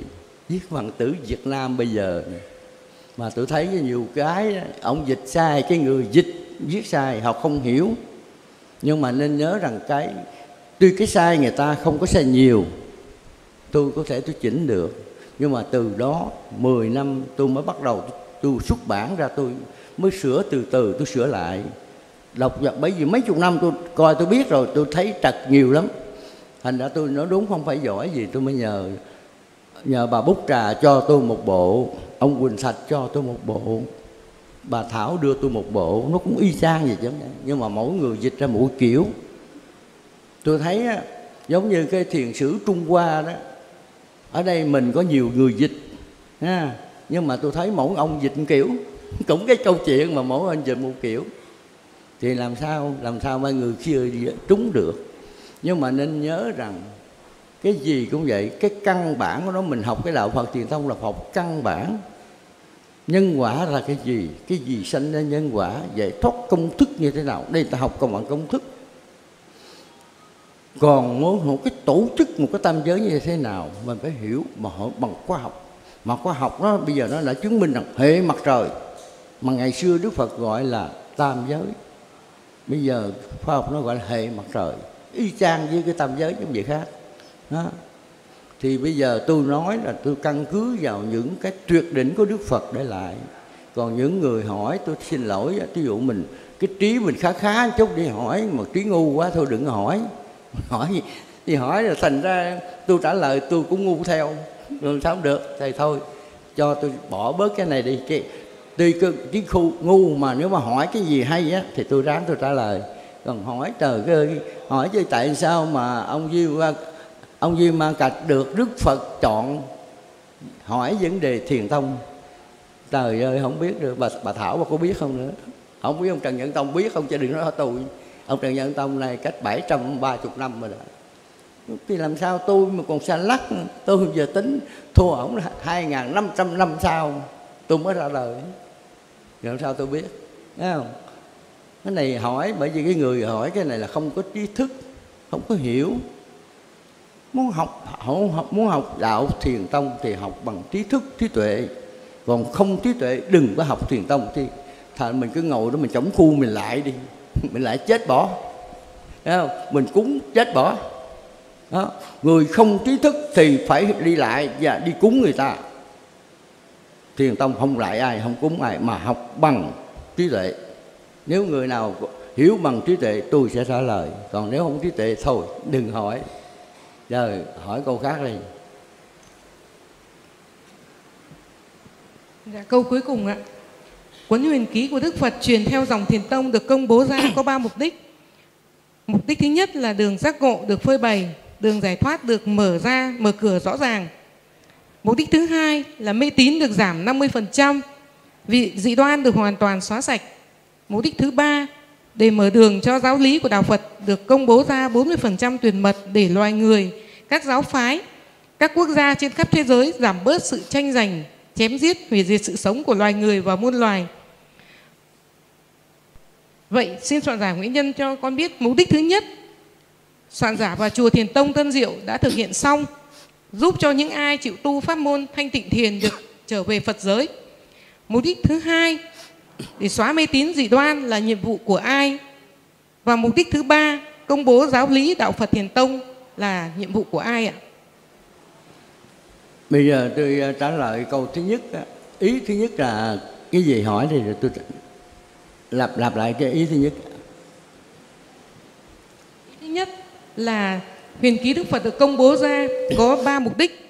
Mục đích một là đường giác ngộ và giải thoát được mở rõ ràng. Thì chùa thiền tông tân diệu và thầy nguyễn nhân đã thực hiện xong ạ. Thế mục đích thứ hai thôi thì đúng ra là cái quyền ký của đức, quyền ký đức phật đã công bố rằng đạo phật nó có bốn cái giới một là giác ngộ. Tôi đã nói công bố rồi, giác ngộ là cái gì tôi đã nói hết rồi. Giải thoát công thức đã đi rồi, bằng cách là đã truyền thiền. Những người truyền thiền đều hoàn toàn biết cái công thức trở về phật giới hết. Đó là nhiệm vụ của chùa thiền tông tân diệu. Thấy không? Đó là nhiệm vụ của còn cái nhiệm vụ mà xóa mê tín gì đó là ai được quyền thế này. Nhà nước. Nhà nước quản lý quốc gia mà. Thấy mê tín thì ổng chính quyền, ổng được quyền xóa cái này. Là nhiệm vụ của ổng. Ổng xóa không xóa chuyện của ổng. Đó, thì tôi, cái chùa Tân Diệu là có các cái bổn phận là công bố cái giác ngộ là cái gì? Tôi nói hết ra từ con người dạng vật trái đất tam giới phật giới càng cung tôi đã nói hết trắng ra rồi.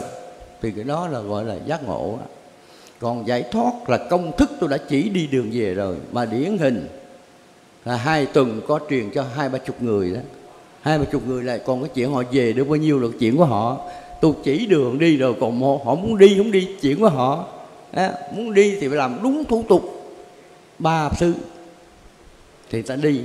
Cứ giờ biết rồi không không đi thì sao?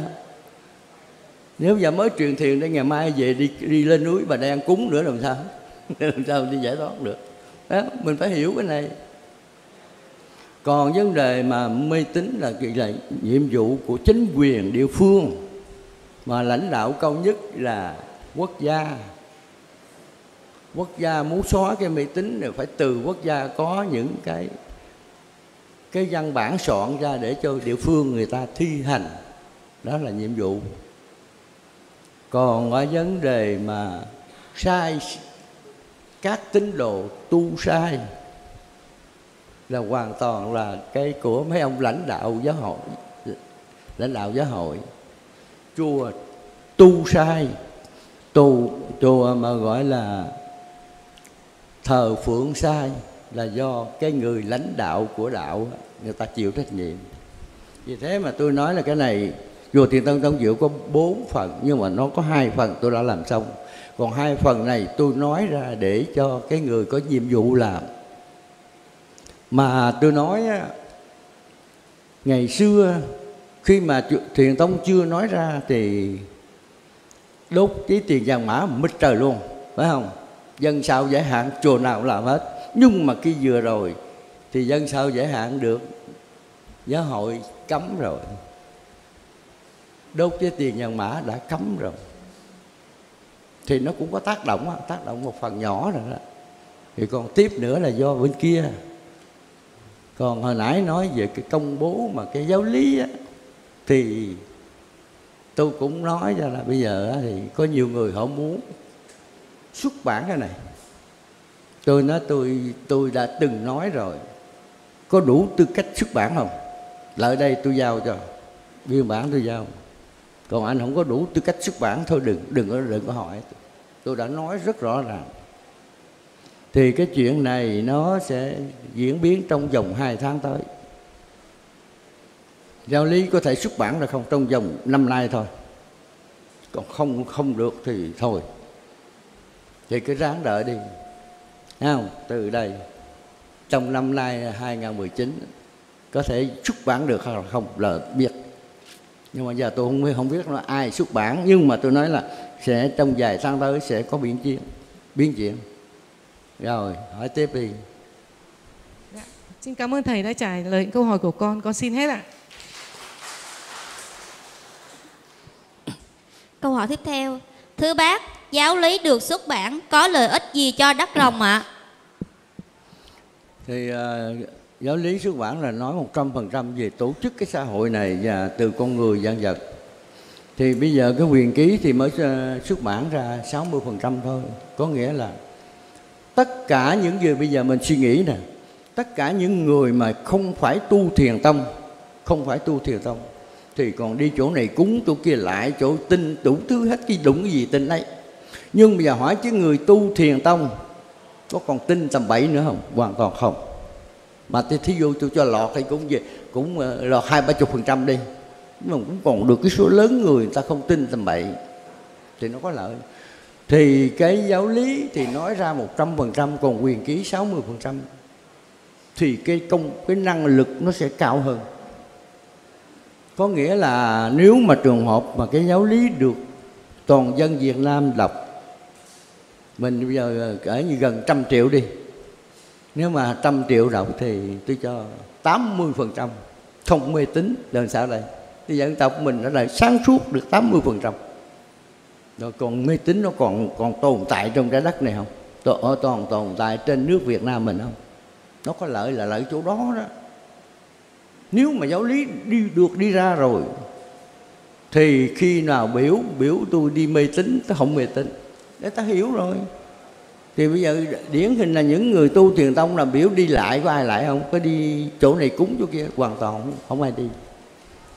Nhưng mà mình nói hoàn toàn là không đúng mà nhưng mà trong này có nhiều người bởi vì ông phật nói trong trong cái số người đó cũng có nhiều cái số người họ chưa bỏ hẳn được cái thói quen của họ. Nó thì nếu mà cái giáo cái giáo lý mà nó xuất bản ra đúng mức của nó rồi toàn dân Việt Nam ai cũng có một quyển này thì khúc đó là nhà nước khỏi cần dẹp mê tín. Tự động nó cũng dẹp. Nhà nước khỏi lo cái chuyện này. Nhà nước lo chỉ phát triển quốc gia thôi. Phát triển cho có công ăn việc làm cho toàn dân được cơm no áo ấm thôi. Còn cái chuyện mê tín không cần. Cái ban dẹp mê tín, ông ông dẹp luôn đi. Ông khỏi cần phát phát tiền cho những cái cán bộ mà dẹp mê tín thì gọi luôn. Rồi hỏi tiếp đi. Thưa bác người học thiền tông bán sách thiền tông đúng trên in trên sách không tặng. Vậy người mua nếu họ khinh chê hay xé bỏ thì người bán có bị ác đức không ạ? À? cái bán là bình thường thôi chứ còn có chuyện nào mà cô mình đem mình ép mình tặng người ta đó là cái người đó mới có. Con thì trường tôi bài đã tôi bán thì ai muốn mua thì chuyển người ta ha. Còn mà xé bỏ là cái chuyện đó chừng nào mình đi ép người ta mua đó ha, hoặc là ép cho người ta người đó mới ảnh hưởng thôi. Còn bán bình thường đâu có gì đâu. Rồi câu hỏi tiếp đi. Thưa bác các vị tổ thiền tông nắm giữ huyền ký hiểu rõ về lời phật dạy tại sao các tổ đã kiến tánh? Vậy kỳ kiến tánh này có ý nghĩa như thế nào ạ? Kiến tánh này là thấy bằng tánh phật. Người ta mới hiểu vậy thôi. Nên nhớ là kiến tánh nó khác thấy bằng tánh phật nó khác mà trở về phật giới nó là khác. Giống như anh thấy đường mà anh không chịu đi về, anh đi vòng vòng nữa thì đâu thua gì. Thấy không? Cái kiến, cái người mà, cái người mà có cái nhiệm vụ dẫn mạch nguồn thiền tông đi, người ta có cái nhiệm vụ khác. Cái nhiệm vụ là có nhiệm vụ là giống như bây giờ mình à, nói về hồi trước đó, giống như anh chị dâu liên thôi. Từ đi ra hà nội đó, một ngàn cây số, nó có một ngàn ông bà dâu liên. Một cách số, một cây số, nó có một người thì điểm A giao cho điểm B điểm B điểm C vậy thôi. Có nhiệm vụ vậy thôi. Thấy không? Chứ mấy ông tổ chỉ là một người có nhiệm vụ đưa cái đưa cái nguồn tiền để đi thôi. Là gì? Nhớ nên, nên nhớ một điều á. Từ cái ông Mahakajip mà đưa cho đến cái tổ 36 không phải mà một mình người đó mà mà mà di chuyển được đâu tất cả những ông tổ mà đi tìm ông tổ thứ hai không phải tự nhiên ông biết đâu. Vậy tôi chỉ nói vậy thôi. Đó từ người biết. Bây giờ tất cả những người nè mình thấy ở đây nè ví dụ người nào mà lớn lên muốn đi mua cái nhà đó chưa chắc mình đi mua được đâu. Nhưng mà cái, cái cái mình mà có cái số mua cái nhà đó rồi đó tự nhiên nó sẽ đến mua. Còn mình không có hoàn toàn mua không được. Thì cái ông tổ vậy đi tìm cái ông thứ hai là do ông Phật, ông chỉ định như thế nào tôi không biết. Nhưng mà bắt buộc là cái người sau cùng phải giữ cái này và đưa cho bà Thảo này nè. Là hợp đồng giữa người này với bà Thảo. Từ ông lúc ông Thích Ca 24 tuổi lận, chứ không phải nhỏ đâu. Bà Thảo này, đời trước không biết, mấy mấy đời trước, bà mới là, mới gọi là công chúa, mới có 8 tuổi thôi. Con của vua chứ không phải nhỏ đâu. Và lăn lộn như thế nào mà giờ sau cùng trở thành cái bà bán giải ở chợ lớn? không? rồi bà về đây bà cắt cái chùa này. Cái này nó phải có cái liên quan thôi nhưng mà cái đó mình đi mổ sâu vô thì mình nói ra có nhiều khi nó hơi tưởng tượng chút. Cái đó là do ông Phật ông sắp đặt thôi. Thì mình phải hiểu cái thiền tông này nó đi theo cái hệ thống của nó. Chứ không phải không phải đơn giản đâu. Mà mình nói ra đó thì cái người mà ta, ta nhận thức được thì tốt không không thức được thì họ, họ nói mình chuyện quan đường phải không? Rồi con hỏi tiếp đi. Thưa bác trong các kinh thường nói các vị tổ ngồi tòa ngồi tòa sư tử thuyết pháp. Vậy tòa sư tử là ẩn ý gì ạ? Ai nói tổ mà ngồi tòa sư tử? Cho nói tầm bậy. Bây giờ bây giờ bây giờ con con suy nghĩ nè. Cái con sư tử nó hiền nó vợ mà con giáp trèo lên con sư tử con ngồi á cô con nói chuyện đó là ai? Điều phục nổi con sư tử này, có nghĩa là ngồi được trên cái tòa sư tử này, ngồi trên cái tòa này ở anh thuyết pháp, là tất nhiên anh phải trùm được cái cái cái cái đạo Phật, anh mới được trèo lên cái này nói. Chứ đừng có trèo lên cái cái này nói rồi anh anh đem cái, anh cúng hoặc anh tụng là chết rồi. Cái tòa sư tử đây là ý người ta nói là cái tòa, cái con sư tử nó dữ lắm mà anh điều ngự nổi nó mà anh trèo lên rồi nói là anh phải nói cho đúng. Còn nói tầm bậy thì anh qua chừng con sư tử nó cắn anh chết luôn á. Thấy không? Phải hiểu cái thế giới này. Tòa sư tử ý là anh muốn à, anh đã điều phục nổi con sư tử này thì anh ngồi đó, đó anh phải giảng pháp người ta thuyết phục được người ta. Còn anh đừng có nói chuyện tầm bậy tầm bạ. Đừng có đem cái bùa ngải vô rồi đừng có cúng tụng vô rồi anh đừng câu thần chú vô không được. Cái đó là chết rồi. Bởi vậy bởi vậy đức phật ông đã thà ngồi nổi tòa sư tử thì anh mới nói được cái cái pháp bất nhị này bất bất nhị của thiền tông này. Còn nếu anh không phải ngồi sư tử thì anh ngồi xuống cái cái, cái lưng con trâu á. Bây giờ có nhiều người đang ngủ đang ngồi trên con trâu họ tu á. Thì vô cái, đó được. Nó phải hiểu còn lưng của tòa sư tử không phải dễ đâu điều, bởi vậy điều tòa sư tử là anh phải có 10 cái gì này điều ngụ trưởng phu thiên nhương sư phật thế tôn. Anh phải điều ngự được cái này. Thì mới mới ngồi trên tòa sư tử anh mới giảng ra được. Còn nó không hiểu ngồi đó sao? Nói là bảy bà anh sư tử nó quật cắn anh chết luôn ạ thấy không? Rồi hỏi tiếp đi. Thưa bác trên mạng người học thiền tông cắt ghép hiền hình thiền nư thiền sư ni thức thảo hình bác nguyễn nhân đăng bài tràn lan. Việc chia sẻ như vậy có trí tuệ không ạ? À? không hoàn toàn không. Cái này coi chừng nó quật chết luôn. Đừng có làm cái chuyện đó. Chính ông Phật chính cái hình Đức Phật mà mình cũng phải đụng đâu mà nói bây giờ này nói xin lỗi mình làm ra rồi nó đem nó, nó dục sao? Dục đống rác rồi sao? Bởi vậy tại làm sao mà cái hình Phật mà khi mà mình không sử dụng nữa mình phải thiêu phải đốt phải phải trọng chứ. Những cái chuyện gì mà ta nói gì cái chân thật phải trọng. Đừng có làm tầm bậy. Đừng có tưởng là mình truyền bá cái này là mình có phước, mình bị mang họa đó. Thấy không? Mình nhớ đừng có làm cái chuyện này. Giống như là mình truyền bá cái thiền tông này nè, đừng có đụng đâu mà cho đó. Cái cuốn sách mà người ta gọi 36 vị tổ hoặc đức đức Phật dạy tu thiền tông rất quý nhưng mà dễ dùng ngày xưa. Ngày xưa cái chuyện ngày xưa mà ông Phật giảng mà bây giờ mình mình nói lại mà người khác nghe. Thì có khác nào ông thích ca ngồi ở đây giảng đâu? Tại sao mình không biết cái này? Mình đã làm ở chuyện đó rồi, cái người đâu phải trên thế giới này, đâu phải là ai. Ví dụ cái đạo thần nó đâu có chấp nhận cái đạo phật, cái đạo thánh đâu có chấp nhận đạo phật, đạo trời đâu có nhân đâu có chấp nhận đạo phật. Thì đương nhiên nó phải phản ứng rồi phản ứng là người làm vậy là tự mình đào sâu xuống cái cái tầng địa ngục 18 mà mình không đào đào xuống cái cái 19 luôn á, rồi mình đi đâu? Thấy không? Không trí tuệ. Người làm vậy không trí tuệ. Rồi con hỏi tiếp đi. Thưa bác, khi bác chết thì không có người thừa kế giáo lý thiền tông nữa.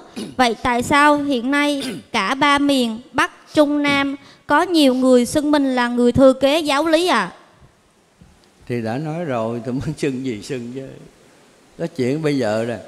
Bây giờ ông thích ca đó, ông ông à, có cái pháp này ông để, ông truyền cho 36 vị tổ. Thì cái chuyện đó ông biết rồi rồi tới ngày nào phổ biến ra, ông biết hết. Rồi cái giáo lý này, cái cái đạo Phật Tiền Tông nó đi đâu ông biết. Còn tôi tới đây bà Thảo bà giao, tôi tôi chỉ nói vậy thôi. Rồi tôi tôi chết rồi thì kệ. Ai có tâm, tài lực trong trong trong quyền ký có nói là, ai có tâm tài lực thì nối dòng như lai. Thì cái lúc đó thì con người nào có tâm tài lực đi. Còn cái không có đấy thì giống như trong kinh nói sao? Mình không phải quốc dương mà xưng là quốc dương là sao? Thôi mình nên nhớ rằng mình không phải là cơ được chánh thốc truyền thiền mà mình nói là mình nối tiếp thì anh coi coi chừng. Thì cái đó thì mình không, tôi không nói trước. Nhưng mà Đức Phật nói là ông có quyền ký là người có tâm lớn thì nói được cái dòng thiền này. Còn mà lợi dụng cái dòng thiền này thì coi chừng.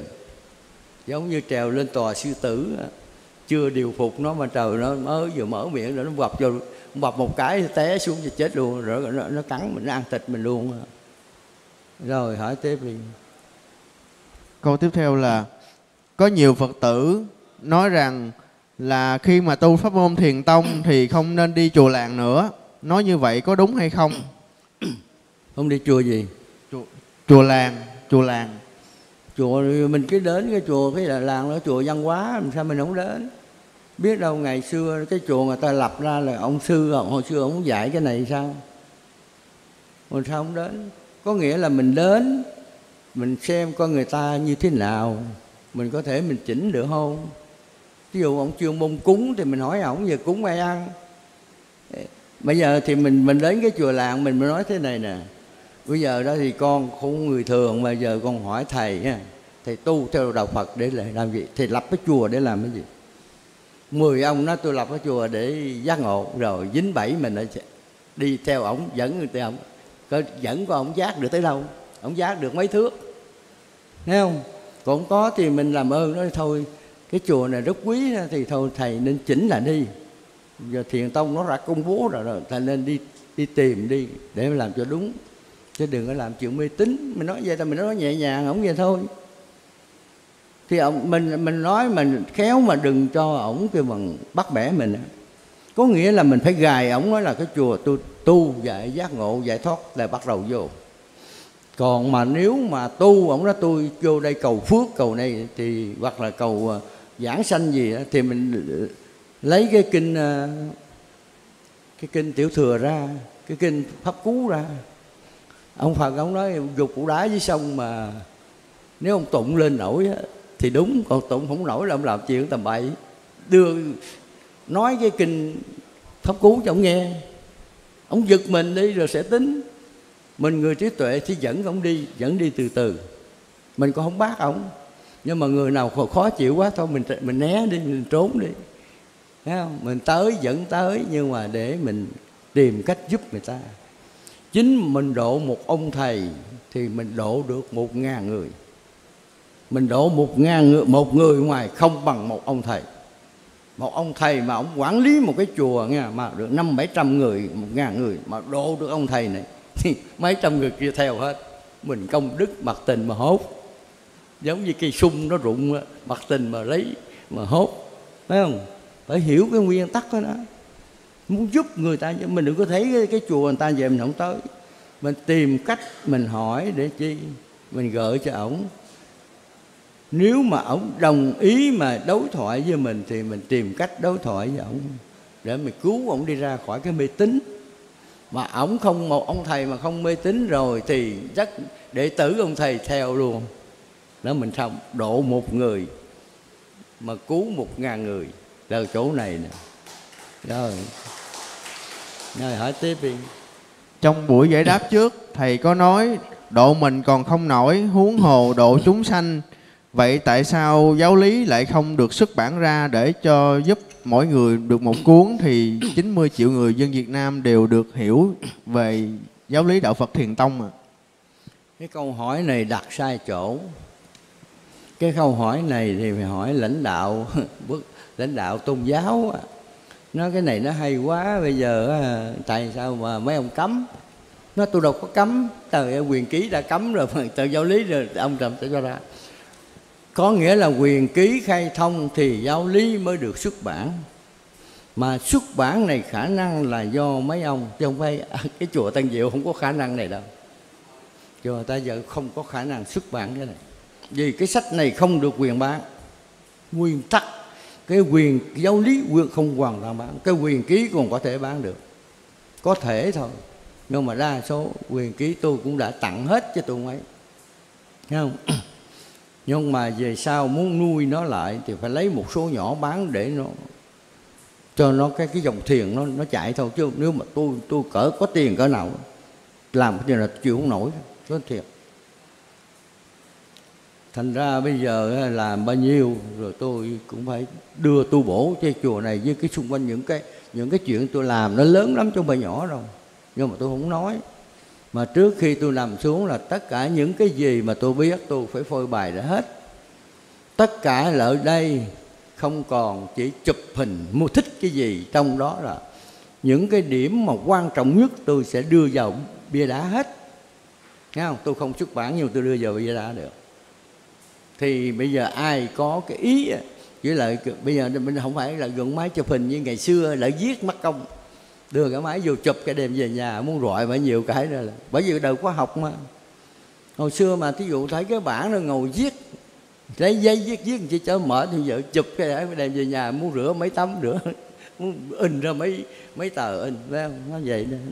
khoa học nó là vậy thành ra bây giờ cái chuyện mà nói giáo lý thì tôi sẽ nói là nó có thể là trong năm nay có thể giải quyết xong cái vấn đề này.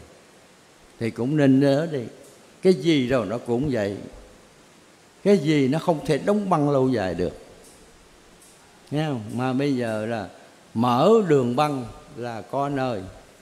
Nơi tự, cái nơi cấm thì cái nơi đó phải mở. Giống như mà đồng phật ông hỏi chứ con cái người nào mà dám mở cái sợi dây xích đầu con cọp? Có nhiều người nói trật lắc ông nào cột con cột thì ông đó lại mở. Dám lại cột nó thì phải ông phải lại mở mở. Thấy không? Cái người đó có tài vậy. Ủa, con cọp vậy mà dám lại cột nó thì giờ mà mở cũng phải là có kỹ thuật mở chứ. Đó là vậy. Thì người nào cấm cái này người đó phải mở thì tôi nói vậy rồi từ, từ ý mình hiểu muốn hiểu sao hiểu. Rồi hỏi tiếp đi. Hết thôi. Hỏi, dạ, hỏi hiện tại, hiện, hiện tại đã hết câu hỏi à. à xin mời à, xin xin mời anh à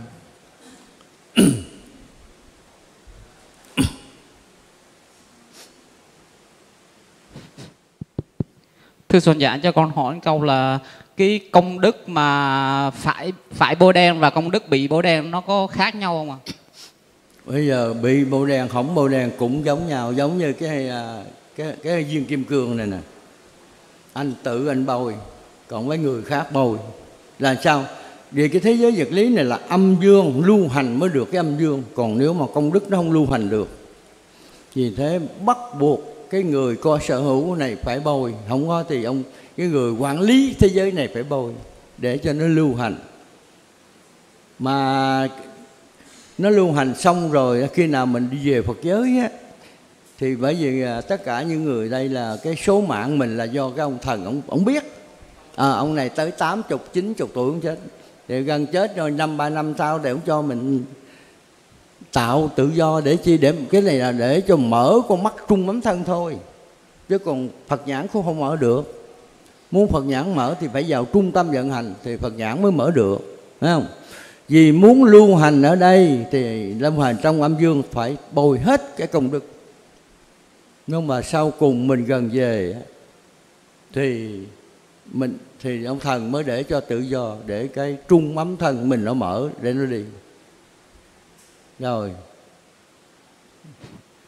Thưa thầy, trước đây thầy nói là cái uh, trung tâm vận hành luân hồi là nó nhỏ như nhỏ hơn chiếc đũa.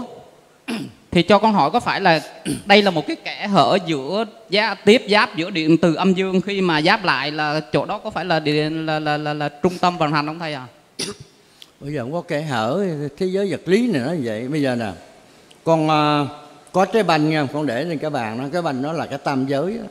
con nắm con quay một cái trái banh nó nó nó quay ở trên cái bàn gì? Cái chỗ mà không quay cho nó là gọi là trung tâm vận hành đúng không đầu trên hút vô, đầu dưới đi ra. Cái đó gọi là trung tâm vận hành đúng không không phải là kẻ hở. Đây là quy luật vật lý. Có cái hút vô thì phải có đi ra. Con người ta có ăn, nuốt vô phải đi ra. Nuốt vô không có đi ra sao? Con bệ con chết liền á. Phải không? Thế giới vật lý, đã thế giới vật lý, có vô thì phải có ra từ tam giới trái đất con vật lớn vật nhỏ nó phải đi theo quy luật này gọi là quy luật vật lý. Con hiểu không? Là nói thẳng vậy đó. Bây giờ con về con suy nghĩ con kiếm trái banh con quay ở trên cái, cái miếng đất. Cái chỗ mà nó không quay chỗ đó là chính là trung tâm vận hành luân hồi. Nhưng mà chỗ không quay chỗ không quay giữa cái trái banh con có thể bằng cái kim thôi. Còn nếu mà tam giới thì ví dụ một thước đi mà con thấy bằng cái kim. rồi một xe đất nó bao lớn rồi một tam giới nó bao lớn. Nó phải theo cái tỷ lệ của cái cái vật lý. Nghe không? Mình phải hiểu cái, cái nguyên tắc đó. Bởi vì vô trong này học Nên nhớ phải tìm làm sao mà giải thông được cái tam giới. Từ cái vận hành của cái tam giới không phải thông ràng hoàng Thì con mới biết được cái này. Còn nếu không thông được cái này Thì hoàn toàn là mình tưởng tượng thôi. Rồi thắc mắc hỏi tiếp thưa thầy con coi trên uh, youtube thì uh, youtube thì uh, có một uh, phóng viên báo pháp luật hỏi thầy uh, thích nhật từ á ừ. là nghiệp là gì? Thì thầy thích nhật từ nói á, là đức phật chia nghiệp ra ba nhóm hành vi. Nhóm hành vi thứ nhất là nhóm hành vi tư duy và nhóm hành vi thứ hai là nhóm hành vi ngôn ngữ và nhóm hành vi thứ ba là nhóm hành vi hành động tay chân. Thì thầy cho con hỏi là cái tư duy có được xem là hành động không? À, à, cái cái đó được có xem là hành vi không à? Và lời nói tức là ngôn ngữ có được xem là coi như là là là hành hành vi không? Mà Đức Phật nói là thầy thích nhờ từ nói là cái này Đức Phật chia ra ba nhóm hành vi. Thì cho con hỏi là thầy thích nhờ từ sai hay là Đức Phật sai? Thầy là mà thầy thích nhờ từ nói là thì tích cái này trong kinh nào hoặc là hay là sách nào thầy ạ à? Bây giờ mình không nói ông nhật từ sai ông phật sai mình nên nhớ hỏi cái này nè. Muốn đi vào cái thế giới này á là mình phải hiểu cái phật giới như thế nào cái tam giới như thế nào quy luật nhân quả như nào đi theo quy luật. Bây giờ tại làm sao mà những vị tu trước á, họ không hiểu về thế giới vật lý? Nên nhớ một điều là nếu họ họ hiểu thế giới vật lý hoàn toàn họ không dám tu cái kia. Vì thế mà mới vừa rồi hai tuần nay tôi có nói về đề người mù rồi voi. Nên nhớ không? Thì từ tiểu thừa cho đến đại thừa là mỗi người ta tưởng tượng, ta tu. Đụng cái gì ta tưởng tượng cái nấy thôi. Mình không nói ai sai nhưng mà muốn hiểu cái này thì em phải hiểu quy tắc vật lý. Người nào hiểu cái vật lý này? Còn những cái tưởng tượng người ta nên nhớ rằng bây giờ đó, tôi hỏi vậy chứ bây giờ tất cả những điện đốm hay là xe cộ ở thế gian này nó chạy nó chạy bằng cái gì? Nó chạy bằng điện phải không? Ngày xưa nói điện ta không tin. Thì bây giờ con người mình hoạt động bằng cái gì? Trái tim nó bóp. Trái tim mình giống như cái gì? Giống như cái nhà máy phát điện, cái dynamo nó phát điện. Phát điện ra thì cả châu thân mình bằng điện hết, nó hoạt động từ tay chân nói hoặc là suy nghĩ hành động nó bằng cái điện. Không có cái này là không hiểu được vì thế mà những người mà họ tu về vật lý, họ không hiểu cái nguyên tắc vật lý. Anh muốn tu đạo phật thì anh phải hiểu cái nguyên tắc vật lý, anh mới tu được. Anh muốn thoát ra cái quy luật vật lý, anh phải hiểu cái quy tắc vật lý, anh mới ra được. Thấy không? Giống như là ở thế gian này, anh muốn hành cái nghề kim khí điện máy gì đó, thì anh phải tốt nghiệp bằng kỹ sư đó, anh mới hiểu được. Còn anh tay ngang không làm được đâu à, còn cái chuyện mà bây giờ nói đúng ra mấy ông vật lý á, thì giống giống như người mù sờ voi. Con suy nghĩ đi. Ông đang sờ cái bụng mà ông, mà ông thì con rờ cái lỗ tai hai ông này cãi lộn thôi. Làm sao? Con có hiểu cái hình mù hình à, năm anh mù sờ voi không? Thì bây giờ hỏi với cái anh mà đụng cái ngà nắm cái ngà với cái đuôi á hai ông này có thống nhất không? Hoàn toàn không thống nhất rồi sao? Mà chỉ thống nhất là cái ông đứng ông dòm á ông ông thứ sáu á mới hiểu được. Thành ra đừng có cắt nghĩa. Đối với mấy ông vật lý hoàn toàn đừng có cắt nghĩa gì ông hết. Có nghĩa là ông không hiểu thế là giống, giống như mù sờ voi ngồi đó con giải thích mất công lắm. Thấy không? Thành ra ông này nói sao nói kệ ông. Ông nói gì cũng đúng hết á. Đặng cho ông vui vậy thôi một câu chuyện nhưng mà 10 ông nói 10 kiểu thì nó ờ cái gì cũng đúng rồi. Thì bây giờ thí dụ cái người đứng ngoài hỏi, chứ ủa, cái gì anh cũng nói đúng hay sao? Chứ bây giờ nó nó mù, bây giờ mình ngồi đó là cãi nó. Đánh tâm mù rồi mà còn cạo cãi thành ra mình mình cãi mình mù theo. Mình chỉ đứng mình cười thôi. Hiểu không? Hiểu ẩn ý về cái chuyện đó không? Còn ông nhật từ sai đúng là chuyện ông không hiểu thế giới này nếu ông hiểu thế giới này, xin lỗi, ông không có cúng đâu, ông không có làm bùa phép đâu. Ông không có đem đám cưới vô chùa đâu. Nếu ông hiểu thì ông đâu làm cái chuyện đó, phải không? Vì ông tưởng mà, ông tu bằng tưởng, ông làm bùa, ông kiếm tiền thì tưởng, ông làm đám cưới có tiền tưởng, ông bình luận bóng đá có tiền, vậy thôi. Ông tu bằng tưởng, mà trong khi đó thiền tông không tưởng, dừng, buông dừng thôi dứt, hết liền tử sanh mà ông đâu có chịu buông đâu. Cái gì ông cũng dính hết. Bóng đá ông cũng giỏi, số 1 đám cưới cũng tổ chức number one. Rồi làm bùa phép làm bùa nhau, là số 1 luôn. Rồi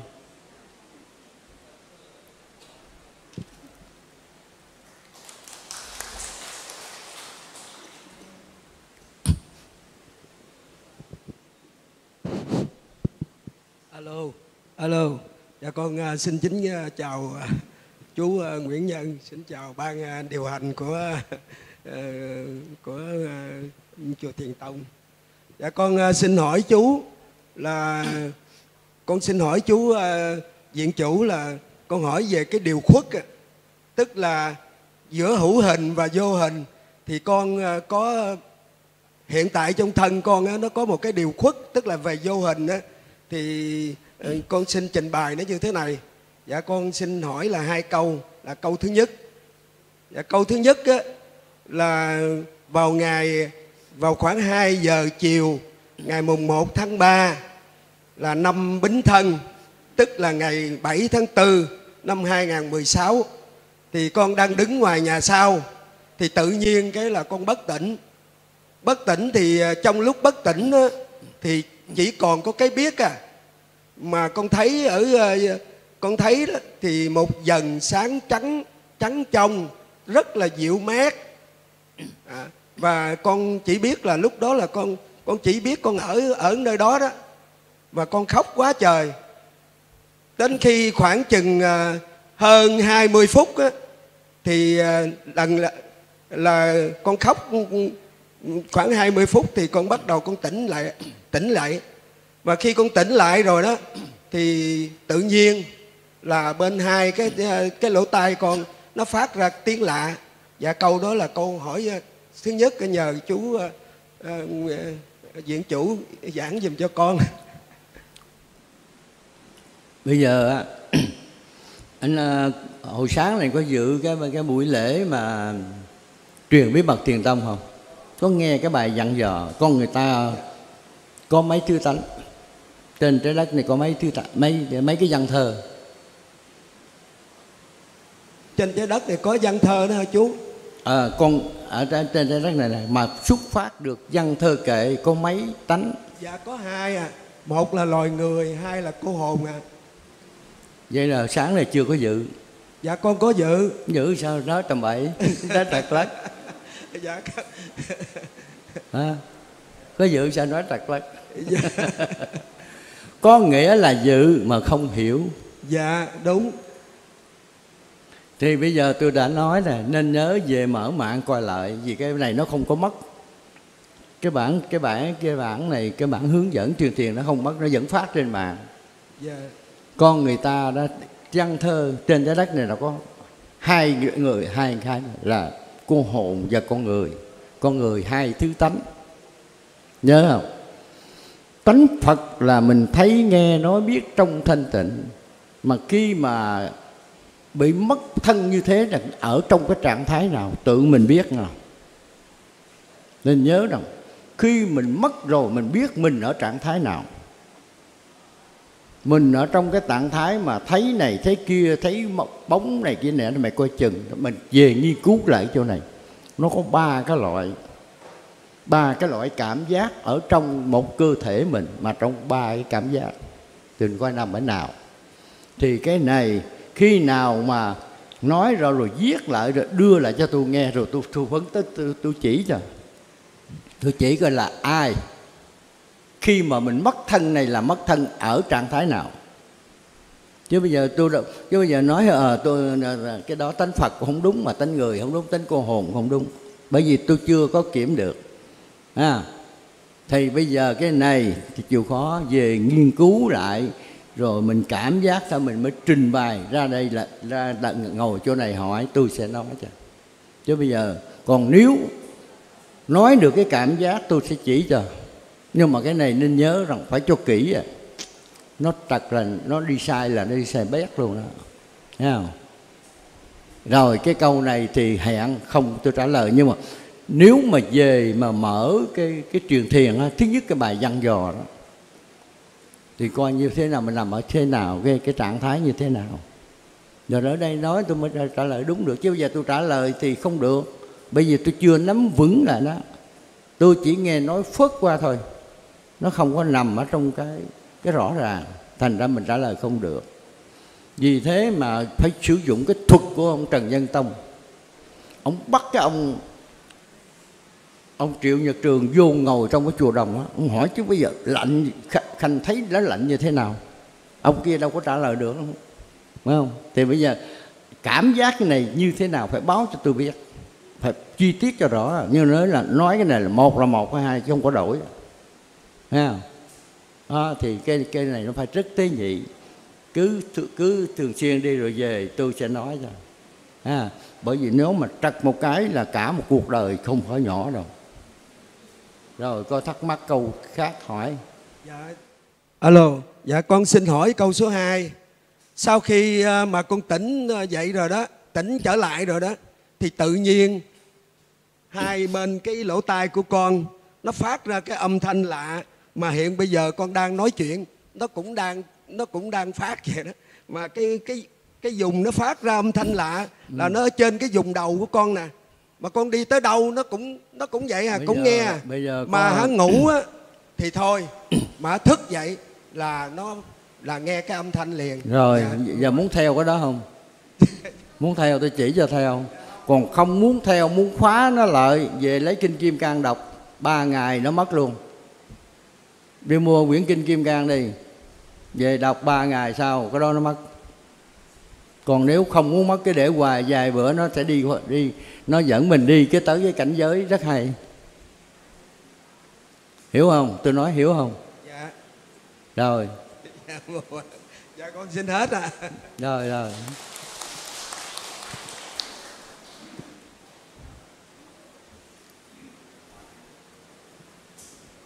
Alo. Con ờ, xin bạch thầy. Con ờ, kính ờ, chào ờ, ban quản trị chùa Thiền Tông Tân Diệu cùng quý quan khách. Hôm nay con xin hỏi vấn đề, ví dụ như con thường hiểu và học được từ nhỏ tới lớn. Tới bây giờ con cũng vẫn được cân nhắc là thiện thì bao giờ cũng thắng, cái ác và cái chánh pháp thì sẽ chiến thắng cái tà pháp. Vậy con xin hỏi thầy cái cuốn giáo lý đó là sẽ đưa một cái ờ, nhân loại đi đến một con đường chánh pháp và lợi ích cho toàn ờ, mọi người, hết tất cả trên cái thế giới này thì ờ, theo cái nhà lãnh đạo ở nhà nước á, thì có một cái ý để cho cái cuốn giáo lý nó được ra đời không thầy? cái này thì tôi cái này có hai cái ý cái là nói tránh thì thắng tà, phải không? Lúc nào vậy? Cái này cô nói sai. Người ta tà nhưng mà cái phước người ta còn chưa thất bại. Nên nhớ một điều trên thế gian này. Tuy họ tà nhưng mà cái phước họ vẫn còn. Một tên ăn cướp, tuy là nó cướp nó tà, nhưng mà nó chưa chưa hết phước thì nó chưa tàn lụi đâu. Nó vẫn còn sống chừng nào tuy nó tà nhưng mà nó hết cái phước thì bắt đầu nó mới tàn lụi. Bên em thấy tuy là lửa nó nóng nhưng mà còn dầu nó vẫn cháy. Cô đút tay vô nó vẫn đốt cho còn lợn. Thành ra mình không có nói tránh thắng tà được. Mà cái đó là cái quy tắc của nó thôi. Đó là sự thật. Tà khi nào nó hết phước, còn tránh anh tránh nhưng mà anh không có phước thì anh vẫn chết. Thế giới vật lý này này, thế giới âm dương nó vậy nó là vậy tôi còn trả lời còn có vấn đề mà cái quyển giáo lý. Thì đây là cái chùa Thiền Tông Tân Diệu có nhiệm vụ nhận được cái này. Xin công bố ra mà giờ người ta không cho thôi tôi cũng không biết. Thì giờ muốn công bố ra thì cái quyển bởi vì cái, quyển ờ, quyền ký đã cấm rồi xuất bản xuất bản một hai mươi mấy ngàn quyển bây giờ nó chuẩn bị nó hết mà xin tái bản không cho. Mà muốn cho bây giờ nên nhớ rằng quyển quyền ký cho mà còn bị thu hồi ra lệnh thu hồi lại. Nhưng mà nhà xuất bản không thu hồi. Thấy không? Thì, thì bây giờ nó đúng nó vẫn còn lưu hành được. Có nghĩa là cái quyển quyền ký này vẫn còn photo ra. Không in được nhưng vẫn còn photo truyền bá được. Vì cái photo hiện giờ nó nó cũng đẹp giống như in vậy thôi chứ không khác đâu. Thấy không? Còn có vấn đề mà cái người mà cho xuất bản cái này, đây là nó nó có, không có nằm trong cái phạm vi của cái chùa Tân Diệu. Mà chỉ trả lời cho biết thôi, còn bây giờ ai thì tôi đã nói rồi, thì ai muốn xuất bản này thì tôi đã nói rồi. Nó dựng, nó có hai cái cơ quan. Một là của giáo hội, hai là của nhà nước, có vậy thôi. Mà nhà nước này nó một là trong nước ngoài nước chứ không phải nhỏ đâu.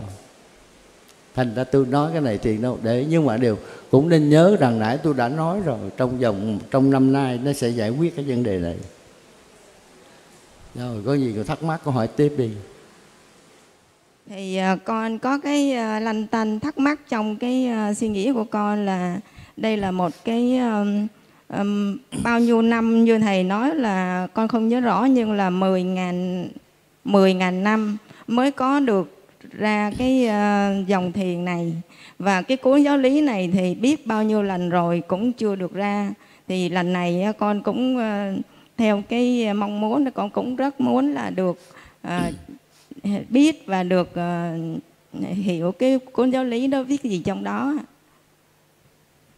Rồi muốn biết gì thì in ra mới biết chứ sao tự sao tôi nói được nó tới hai mươi mấy chương, mỗi chương nó nói một đề tài. Thấy không? Thì làm sao? Bây giờ làm sao? Tôi đâu nhớ hết nổi. Tôi đâu nhớ. Chứ chỉ có nước đem về đọc mà còn không nhớ nổi mà ở đó cái chuyện mà làm sao tôi biết. Nên con thấy à, đây là một cái à, điều rất là hy hữu. Nếu mà nhà nước mà Ờ, chấp nhận cho chùa Thiền Tông ra được cái cuốn giáo lý này, đó là điều tuyệt vời. Và những cái người chấp nhận cho ra cuốn giáo lý này thì công đức có nhiều không mà thầy? cái này không nói công đức được. Nên mà bây giờ cái cái quyển mà giờ quyền ký mà cũng muốn đốt mở đó, cái chuyện cái công đức.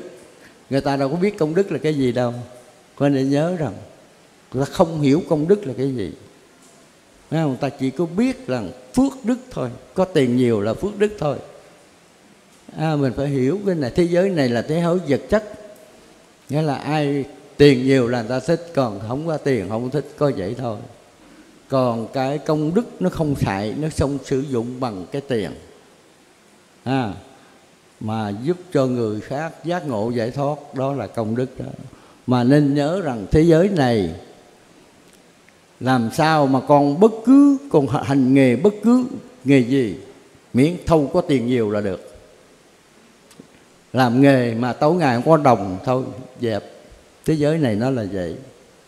Thì con cái lòng con thì cũng tốt nhưng mà không khả thi trong thế giới vật lý này. Thế giới này gọi là thế giới vật chất.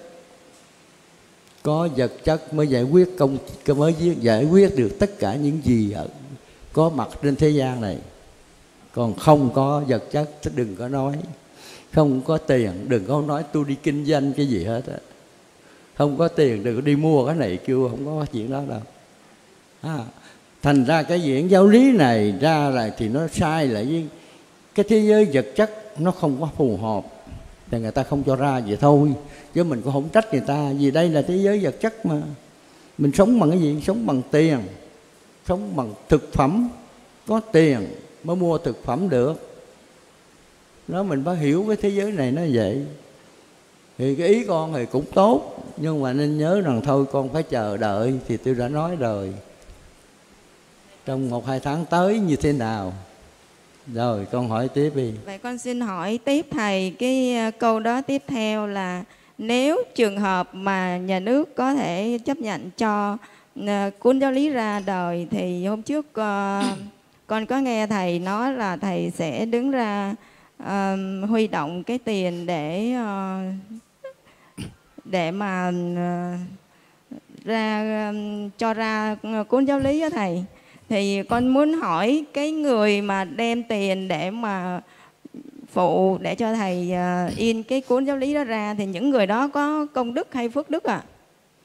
Bây giờ á bây giờ à, con à, nên nhớ là cái cái cái câu hỏi con đó chưa có chính xác. Khi nào mà cái quyển giáo lý này mà ra đời, nếu nhà nước xuất bản, thì tự ông bỏ tiền ra. Giáo hội thì ông vận động trong các chùa còn ở đây đưa cho chùa, có giấy phép đưa chùa xuất bản thì chùa mới vận động nên nhớ rằng nếu mà chùa xuất bản nó khác, cái số lượng nó ít hơn. Còn nếu mà giáo hội thì tất cả các chùa hiện hữu, các tu sĩ hiện hữu phải mỗi người một quyển. Còn nhà nước xuất bản, dân tộc Việt Nam mấy người mỗi người một quyển. Nên nhớ là nó có cái đẳng cấp vậy.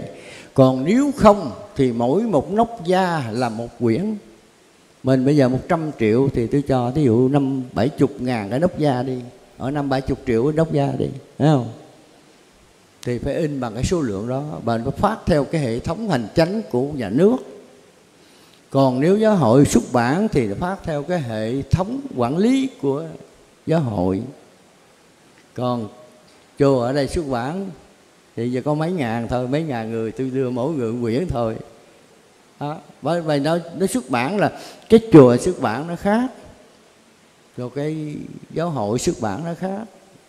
Nhà nước xuất bản nó khác. Là cái chỗ đó đó. Mà tôi nói khi nào được giấy phép cả. Còn không có giấy phép thôi, chứ làm sao tôi dám.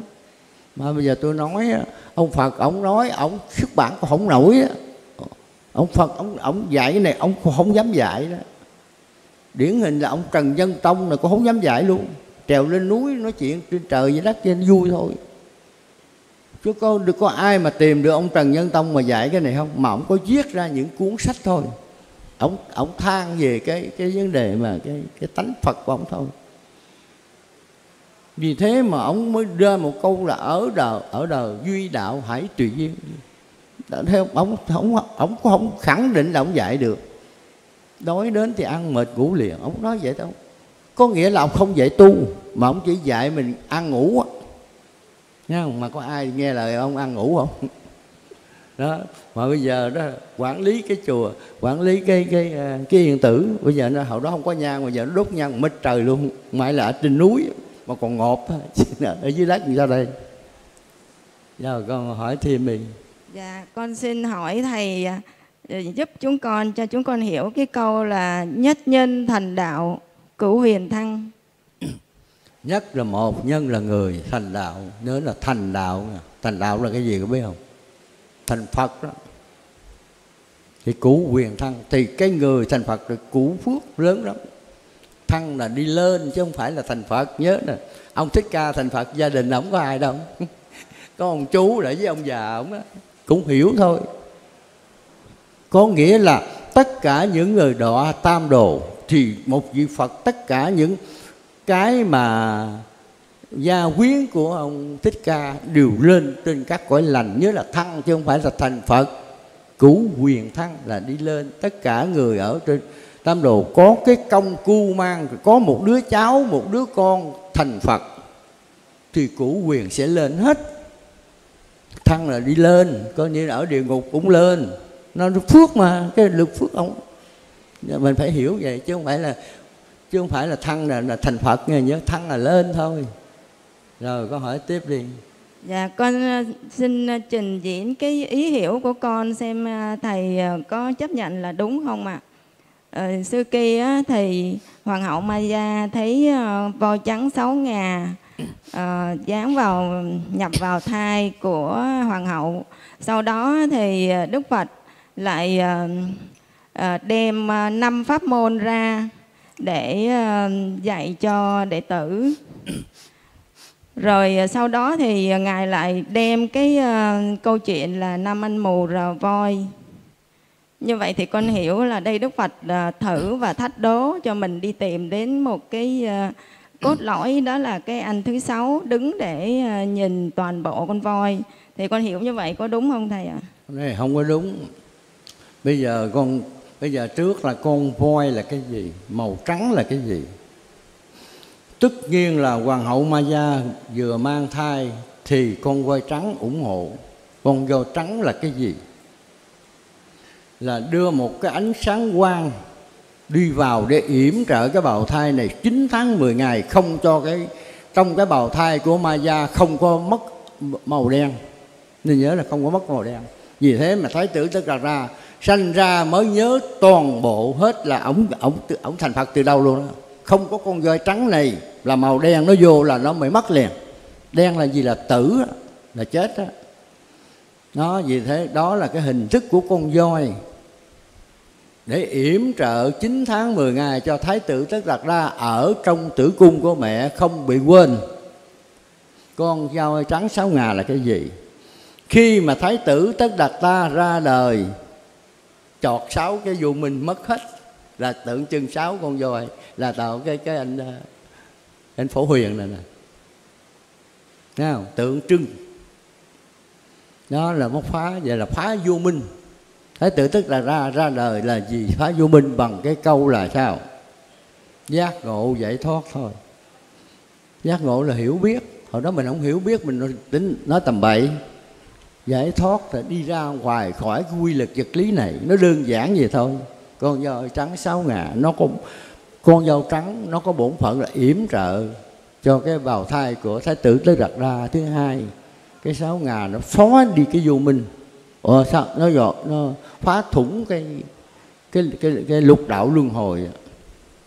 Thấy không? Rồi cho cho con ta trở về Phật giới là giác ngộ giải thoát, có đơn giản vậy thôi. Chứ không phải cái người ta tưởng đâu là nằm chim bao cái đó là bằng sự thật.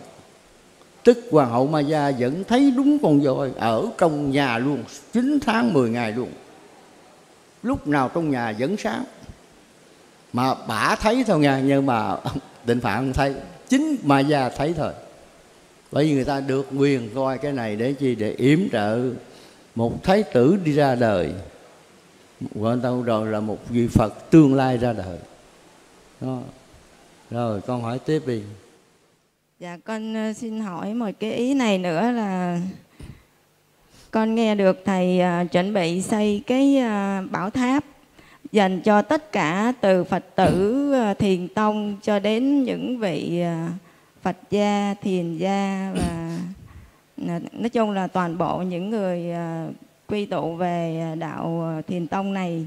Vậy thì cái người mà ta có cái ước nguyện người ta gửi thêm tiền để phụ cho thầy xây thì có được không ạ? À? này không được này tôi có cái bây giờ muốn ấy phải đi qua bên cái cái bên cái bàn cái cái bàn xây dựng á à, chứ còn à, cá tu cá nhân tôi tôi không qua không ấy qua một cái xây dựng coi làm sao. À, mà cái này á, trước khi á, tôi không còn thì tôi muốn để lại tất cả những cái gì mà tôi lưu lại gia đình ở trong cái thiền tông này. Nên nhớ một điều á là cái thiền tông này khắp thế giới quy về sau sẽ quy tụ về đây. Tìm cái cốt tủy thiền tông nó nằm ở chỗ này. Nhưng mà giờ tôi không có thể nói ra được bây giờ tôi chỉ nói 60% thôi thành ra còn 40% thì về sau nó lại nằm ở bên đó. À, thành ra bây giờ thì còn cái chuyện mà xây dựng thì phải liên hệ bên xây dựng á chứ cá nhân tôi thì không. Vì tôi tôi á thì mục đích của tôi muốn là tất cả vậy bây giờ nè 37 pháp tu của Đức Phật thành tựu cái gì tôi sẽ có mô hình tôi dạy hết rồi tất cả những cái lời bí ẩn của Đức Phật lưu cái gì nằm ở trong cái bảo tàng hết chứ không có tôi muốn lưu lại hết. Về sau ai thắc mắc cái gì tôi sẽ lưu từ gom từ từ khùng từ phùng lại. Tới đó sẽ chụp hình tự nhiên biết. Giống như bây giờ đó thì tôi nói giống như con à, con voi trắng sáu ngà. Ồ, cái con à, con, con voi mà à, năm mù sờ voi đó là nó tượng trưng cho năm pháp môn tu và một cái một, anh anh đứng anh dòm là sáu pháp môn là nó tượng trưng cho cái cái thiền tông này. Nhưng mà tại vì cái này nó đúng là cái này chưa công bố ra đâu. Nhưng mà hôm trước á, cái này là nó đúng do ông thầy thích phước tiến ông mới nhắc ra. Ông thầy phước tiến ông nói ông giống như người mù sờ dâu ấy vậy thôi nghe không? Rồi ông nhắc cái này rồi mấy người kia mới hỏi tôi tôi mới bắt buộc tôi phải nói đó. Chứ sự thật chưa có nói tới cái chuyện này đâu. Thì ra còn cái chuyện mà tôi xây dựng cái ý là tôi đó, trên này nó có ba cấp. Một phật tử này thì phật gia, thiền gia, nó chỉ có ba cấp. Tôi sẽ quy tụ tất cả về. Đó. vì cho mấy ngàn cái mà thì có thể là 500 năm sau chưa hết cái này. Thì 500 năm sau thì ông Phật ông nói là khi Đức khi Như Lai mà ra đời thì năm ba ngàn năm sau nó mất mà giờ tới hai ngàn năm trăm sáu mươi mấy năm rồi còn bốn trăm mấy chục năm nữa thì chắc có lẽ cái này nó vẫn còn lưu lại đây. Về sau cái này ở đây nó thuộc về cái di, di tích của thiền tông được công bố ra. Đó tôi muốn để lưu lại vậy thôi. Còn à, con muốn thì con liên hệ lại với bên xây dựng thấy không? Rồi thắc mắc gì con hỏi thiền con à, hết thắc mắc rồi. Con à, xin cảm ơn thầy. Còn hai câu nữa. Đọc đi đọc ráng đi trời à, một vị ở hà nội hỏi khi bố mẹ chết họ hàng nội tộc đến viếng mình làm con trai theo phong tục việt nam thì phải lạy và đáp lễ họ. Nếu mình làm như vậy thì công đức của mình có bị bôi đen hay không? À, lặp lại. À, mình mình là con trai theo phò hàng phong tục, thì khi mà có đám tang thì mình phải lại để trả lễ cho người người đến viếng. Thì làm như vậy thì mình có bị bôi đen công đức hay không? Dạ, thì bôi đen chứ đâu có mất đâu. Cứ lại lại đâu thua gì. Công đức bị bôi đen chứ không phải mất. Mình làm con thì trả hiếu cha mẹ thì thí dụ ờ, cuộc đời mình ờ, tạo được một ngàn điểm mà mất một điểm hai điểm bằng nhầm gì thôi kệ. Cái này nó không phải mất mà nó chỉ bôi đen thôi. Mình cứ theo thế gian này là nhân nghĩa là trí tính phải sống cho đúng. Đừng có chấp với cái này. Bởi vì tu và đạo Phật tu bằng trí tuệ chứ đừng có tu bằng cái chuyện cái chấp ha, đừng có tưởng tượng. Đừng có xài cái tưởng tượng. Rồi hỏi tiếp đi. Ừ. Câu tiếp theo là con muốn thiết kế một bức tranh trong chánh điện chùa. Đức Phật ở giữa, hai vị Bồ Tát hai bên và có thêm thần Kim Cang. Như vậy có được hay không? ở chùa nào Ở ở giống ở chánh điện chùa Tân Diệu ạ. hoàn toàn không được thần kim cang ở bên ngoài có rồi Đó, không thần kim cang không có vô chùa được thần kim cang là hộ truyền năm anh em kiều kiều trường như và bốn người bạn đồng tu đã có rồi Thấy không không đừng đừng có đưa vô chùa chùa này không có thay đổi cái gì hết. Thần kim cang không có vô chùa được. Khi nào mà có có cái cuộc lễ thì mới vô chứ không phải thường trực trong này. Thần kim cang không thể thường trực ở trong này được. Mà thường trực ở cái di tích thôi. Rồi hỏi tiếp đi. Ờ, xin, xin mời bác đặt câu hỏi ạ. Dạ, kính thưa viện chủ chùa Thiền Tông Tân Diệu, kính thưa ban quản trị chùa Thiền Tông cùng à, toàn thể quý vị có mặt ở đây. Dạ, xin phép à, con được hỏi à, viện chủ là trong sách của viện chủ có dạy đấy là cái trung tâm vận hồi vận hành luân hồi nhưng mà không có nói rõ Thì con xin thầy là chỉ dẫn thì cái ý hiểu của con không biết có là đúng hay không tức là cái trung tâm này là nằm ở tâm mặt trời có đúng không ạ? Bởi vì à, toàn bộ hành tinh trong tam giới là đều quanh quanh mặt trời. Cho nên là con hiểu như vậy thì không biết là cái ý hiểu của con có có đúng như vậy không? Không không đúng. Bây giờ tôi nói nãy có trả lời cho cái anh nào đó. Anh thành à, anh này đó. có nghĩa cái tam giới giống như trái banh anh quay một cái nó bốn làm hành tinh nó quay ở bên trong đó đó cái tam giới quay thì nó mới có tạo ra cái gọi là cái trung tâm vận hành luân hồi được. Còn tất cả hành tinh quay nó không có tạo ra trung tâm vận hành luân hồi được. Mà nó là, là trung tâm của hành tinh thôi. Trung tâm vận hành luân hồi nó phải nằm ở trong cái tam giới á. Anh về lấy trái banh anh quay một cái anh mới nhìn thấy cái cái trái banh đó gọi là tam giới rồi lấy cái bản đồ tam giới thì mới nói là bấy nhiêu mấy triệu cái hành tinh nó nằm ở trong đó, đó. mấy tỷ cái hành tinh nằm ở trong đó đó. Thấy không? Mà trong đó nó có bốn năm hành tinh sự sống mình hiểu cái này. Hỏi vậy rồi mới phải vô cái rồi mày phải khi nào mà hỏi rồi phải trực tiếp người ta trả lời mới được. Chứ không phải hỏi vậy không đúng. Anh chưa có khái không có hiểu cái chưa hiểu cái khái niệm của tam giới. Rồi chừng nào rảnh thì thì ờ, trực với anh em á anh em trực người ta sẽ giải thích cho nghe cái chuyện này. Thấy không? Vô trong thiền tông thất rồi hỏi anh em rồi người ta chỉ cho. Rồi hỏi câu khác đi. Cảm ơn thầy. Và con muốn hỏi là lửa tam muội là gì và lửa trên mặt trời thì có phải là lửa tam muội không? Lửa tam muội là lửa mặt trời đó là cái sức gia tăng nó nóng hàng triệu độ đó chính cái bài ông Phật cũng đã nói đó.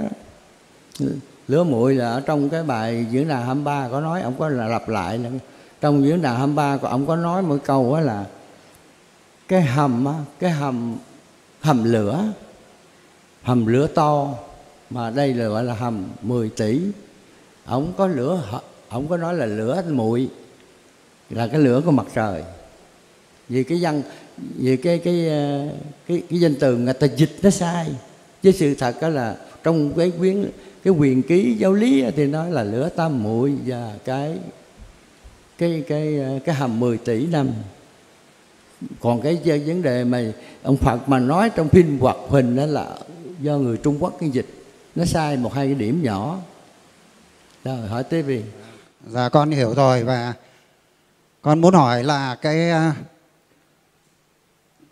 về cái um, trên à, tức là trái đất của mình ấy là luôn luôn là lúc nào tháng nào chúng ta cũng nhìn thấy mặt trăng. Thôi. nhưng mà trong cái à, sách của à, các sách này không hề có đề cập đến nhưng mà theo con hiểu là cái mặt trăng cũng có ảnh hưởng rất lớn đến cái sự tồn vong của các loài ở trên trái đất. Thì xin thầy giải thích cái cái cái, cái điều đó. Thứ hai nữa là vì lý do gì mà ở trái đất chúng ta chỉ thấy một phía của mặt trăng thôi chứ phía sau là chúng ta không bao giờ thấy được. Bây giờ bây giờ hỏi anh à anh có khi nào mà anh đứng bên này cái, cái, cái núi mà anh vô anh anh thấy bên kia cái núi không? Làm sao thấy được? Thấy gọi là thấy mặt cắt ngang thôi. Ông phải hỏi bây giờ là cái tôi nói về cái cái lực của cái cái mặt trăng nó có hai cái lực. Một là để dùng ánh sáng ban đêm cho cái, cái loài mà nó sống ở trong cái thế giới ban đêm á, nó sống được. Thứ hai là nó dùng cái lực hút để cho tạo cái lực hút để cho có nước lớn nước rồng đối với ảnh hưởng với cái trái đất này thôi. Vì nó phải theo cái nhân quả trái đất cái mặt trăng nó có nó hai nhiệm vụ. Một là nó dùng ánh sáng ban đêm cho những cái con mà sống về ban đêm giống như con dơi vậy thấy không? Bằng, bằng ngày nó không bay được mà tối nó mới bay. Vì con mắt nó sống bằng cái cái bóng, bóng đêm thấy không? Là vì có nhiều cái con tại sao con hổ con này con kia nó đi nó bằng đêm cái con mắt nó sáng ban ngày nó nó, nó chậm hơn. Đó mình phải hiểu cái thế giới này nhưng mà nên nhớ rằng cái thiền tông ra đời là đó là cái phụ thôi nó không có nằm ở trong cái chánh. Mà nó chánh của chánh của thiền tông là cái giác ngộ giải thoát thôi. Thấy không? Cái đó nó đi qua cái vật lý nhiều Còn khi nào đi tới chuyên môn người ta sẽ nói cái này Thấy không? Và vì thưa thầy là vì thầy có cho phép là hỏi toàn bộ trong tam giới cho nên là con mới hỏi như vậy ạ. Ừ. Và không và...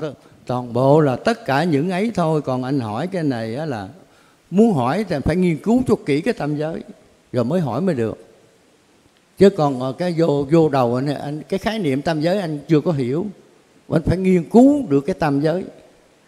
Bây giờ anh xin cái đó đi, rồi trong đó người ta giải thích từ ly từ tí hết rồi. Rồi đem cái gì không hiểu, anh ra anh hỏi, người ta sẽ nói cho nghe. Thấy không? Chứ không phải là từ chối.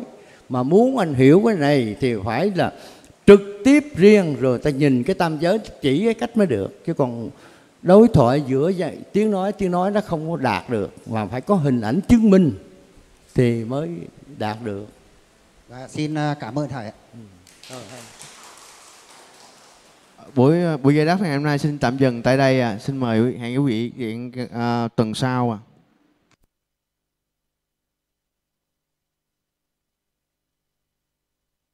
À, tuần sáng alo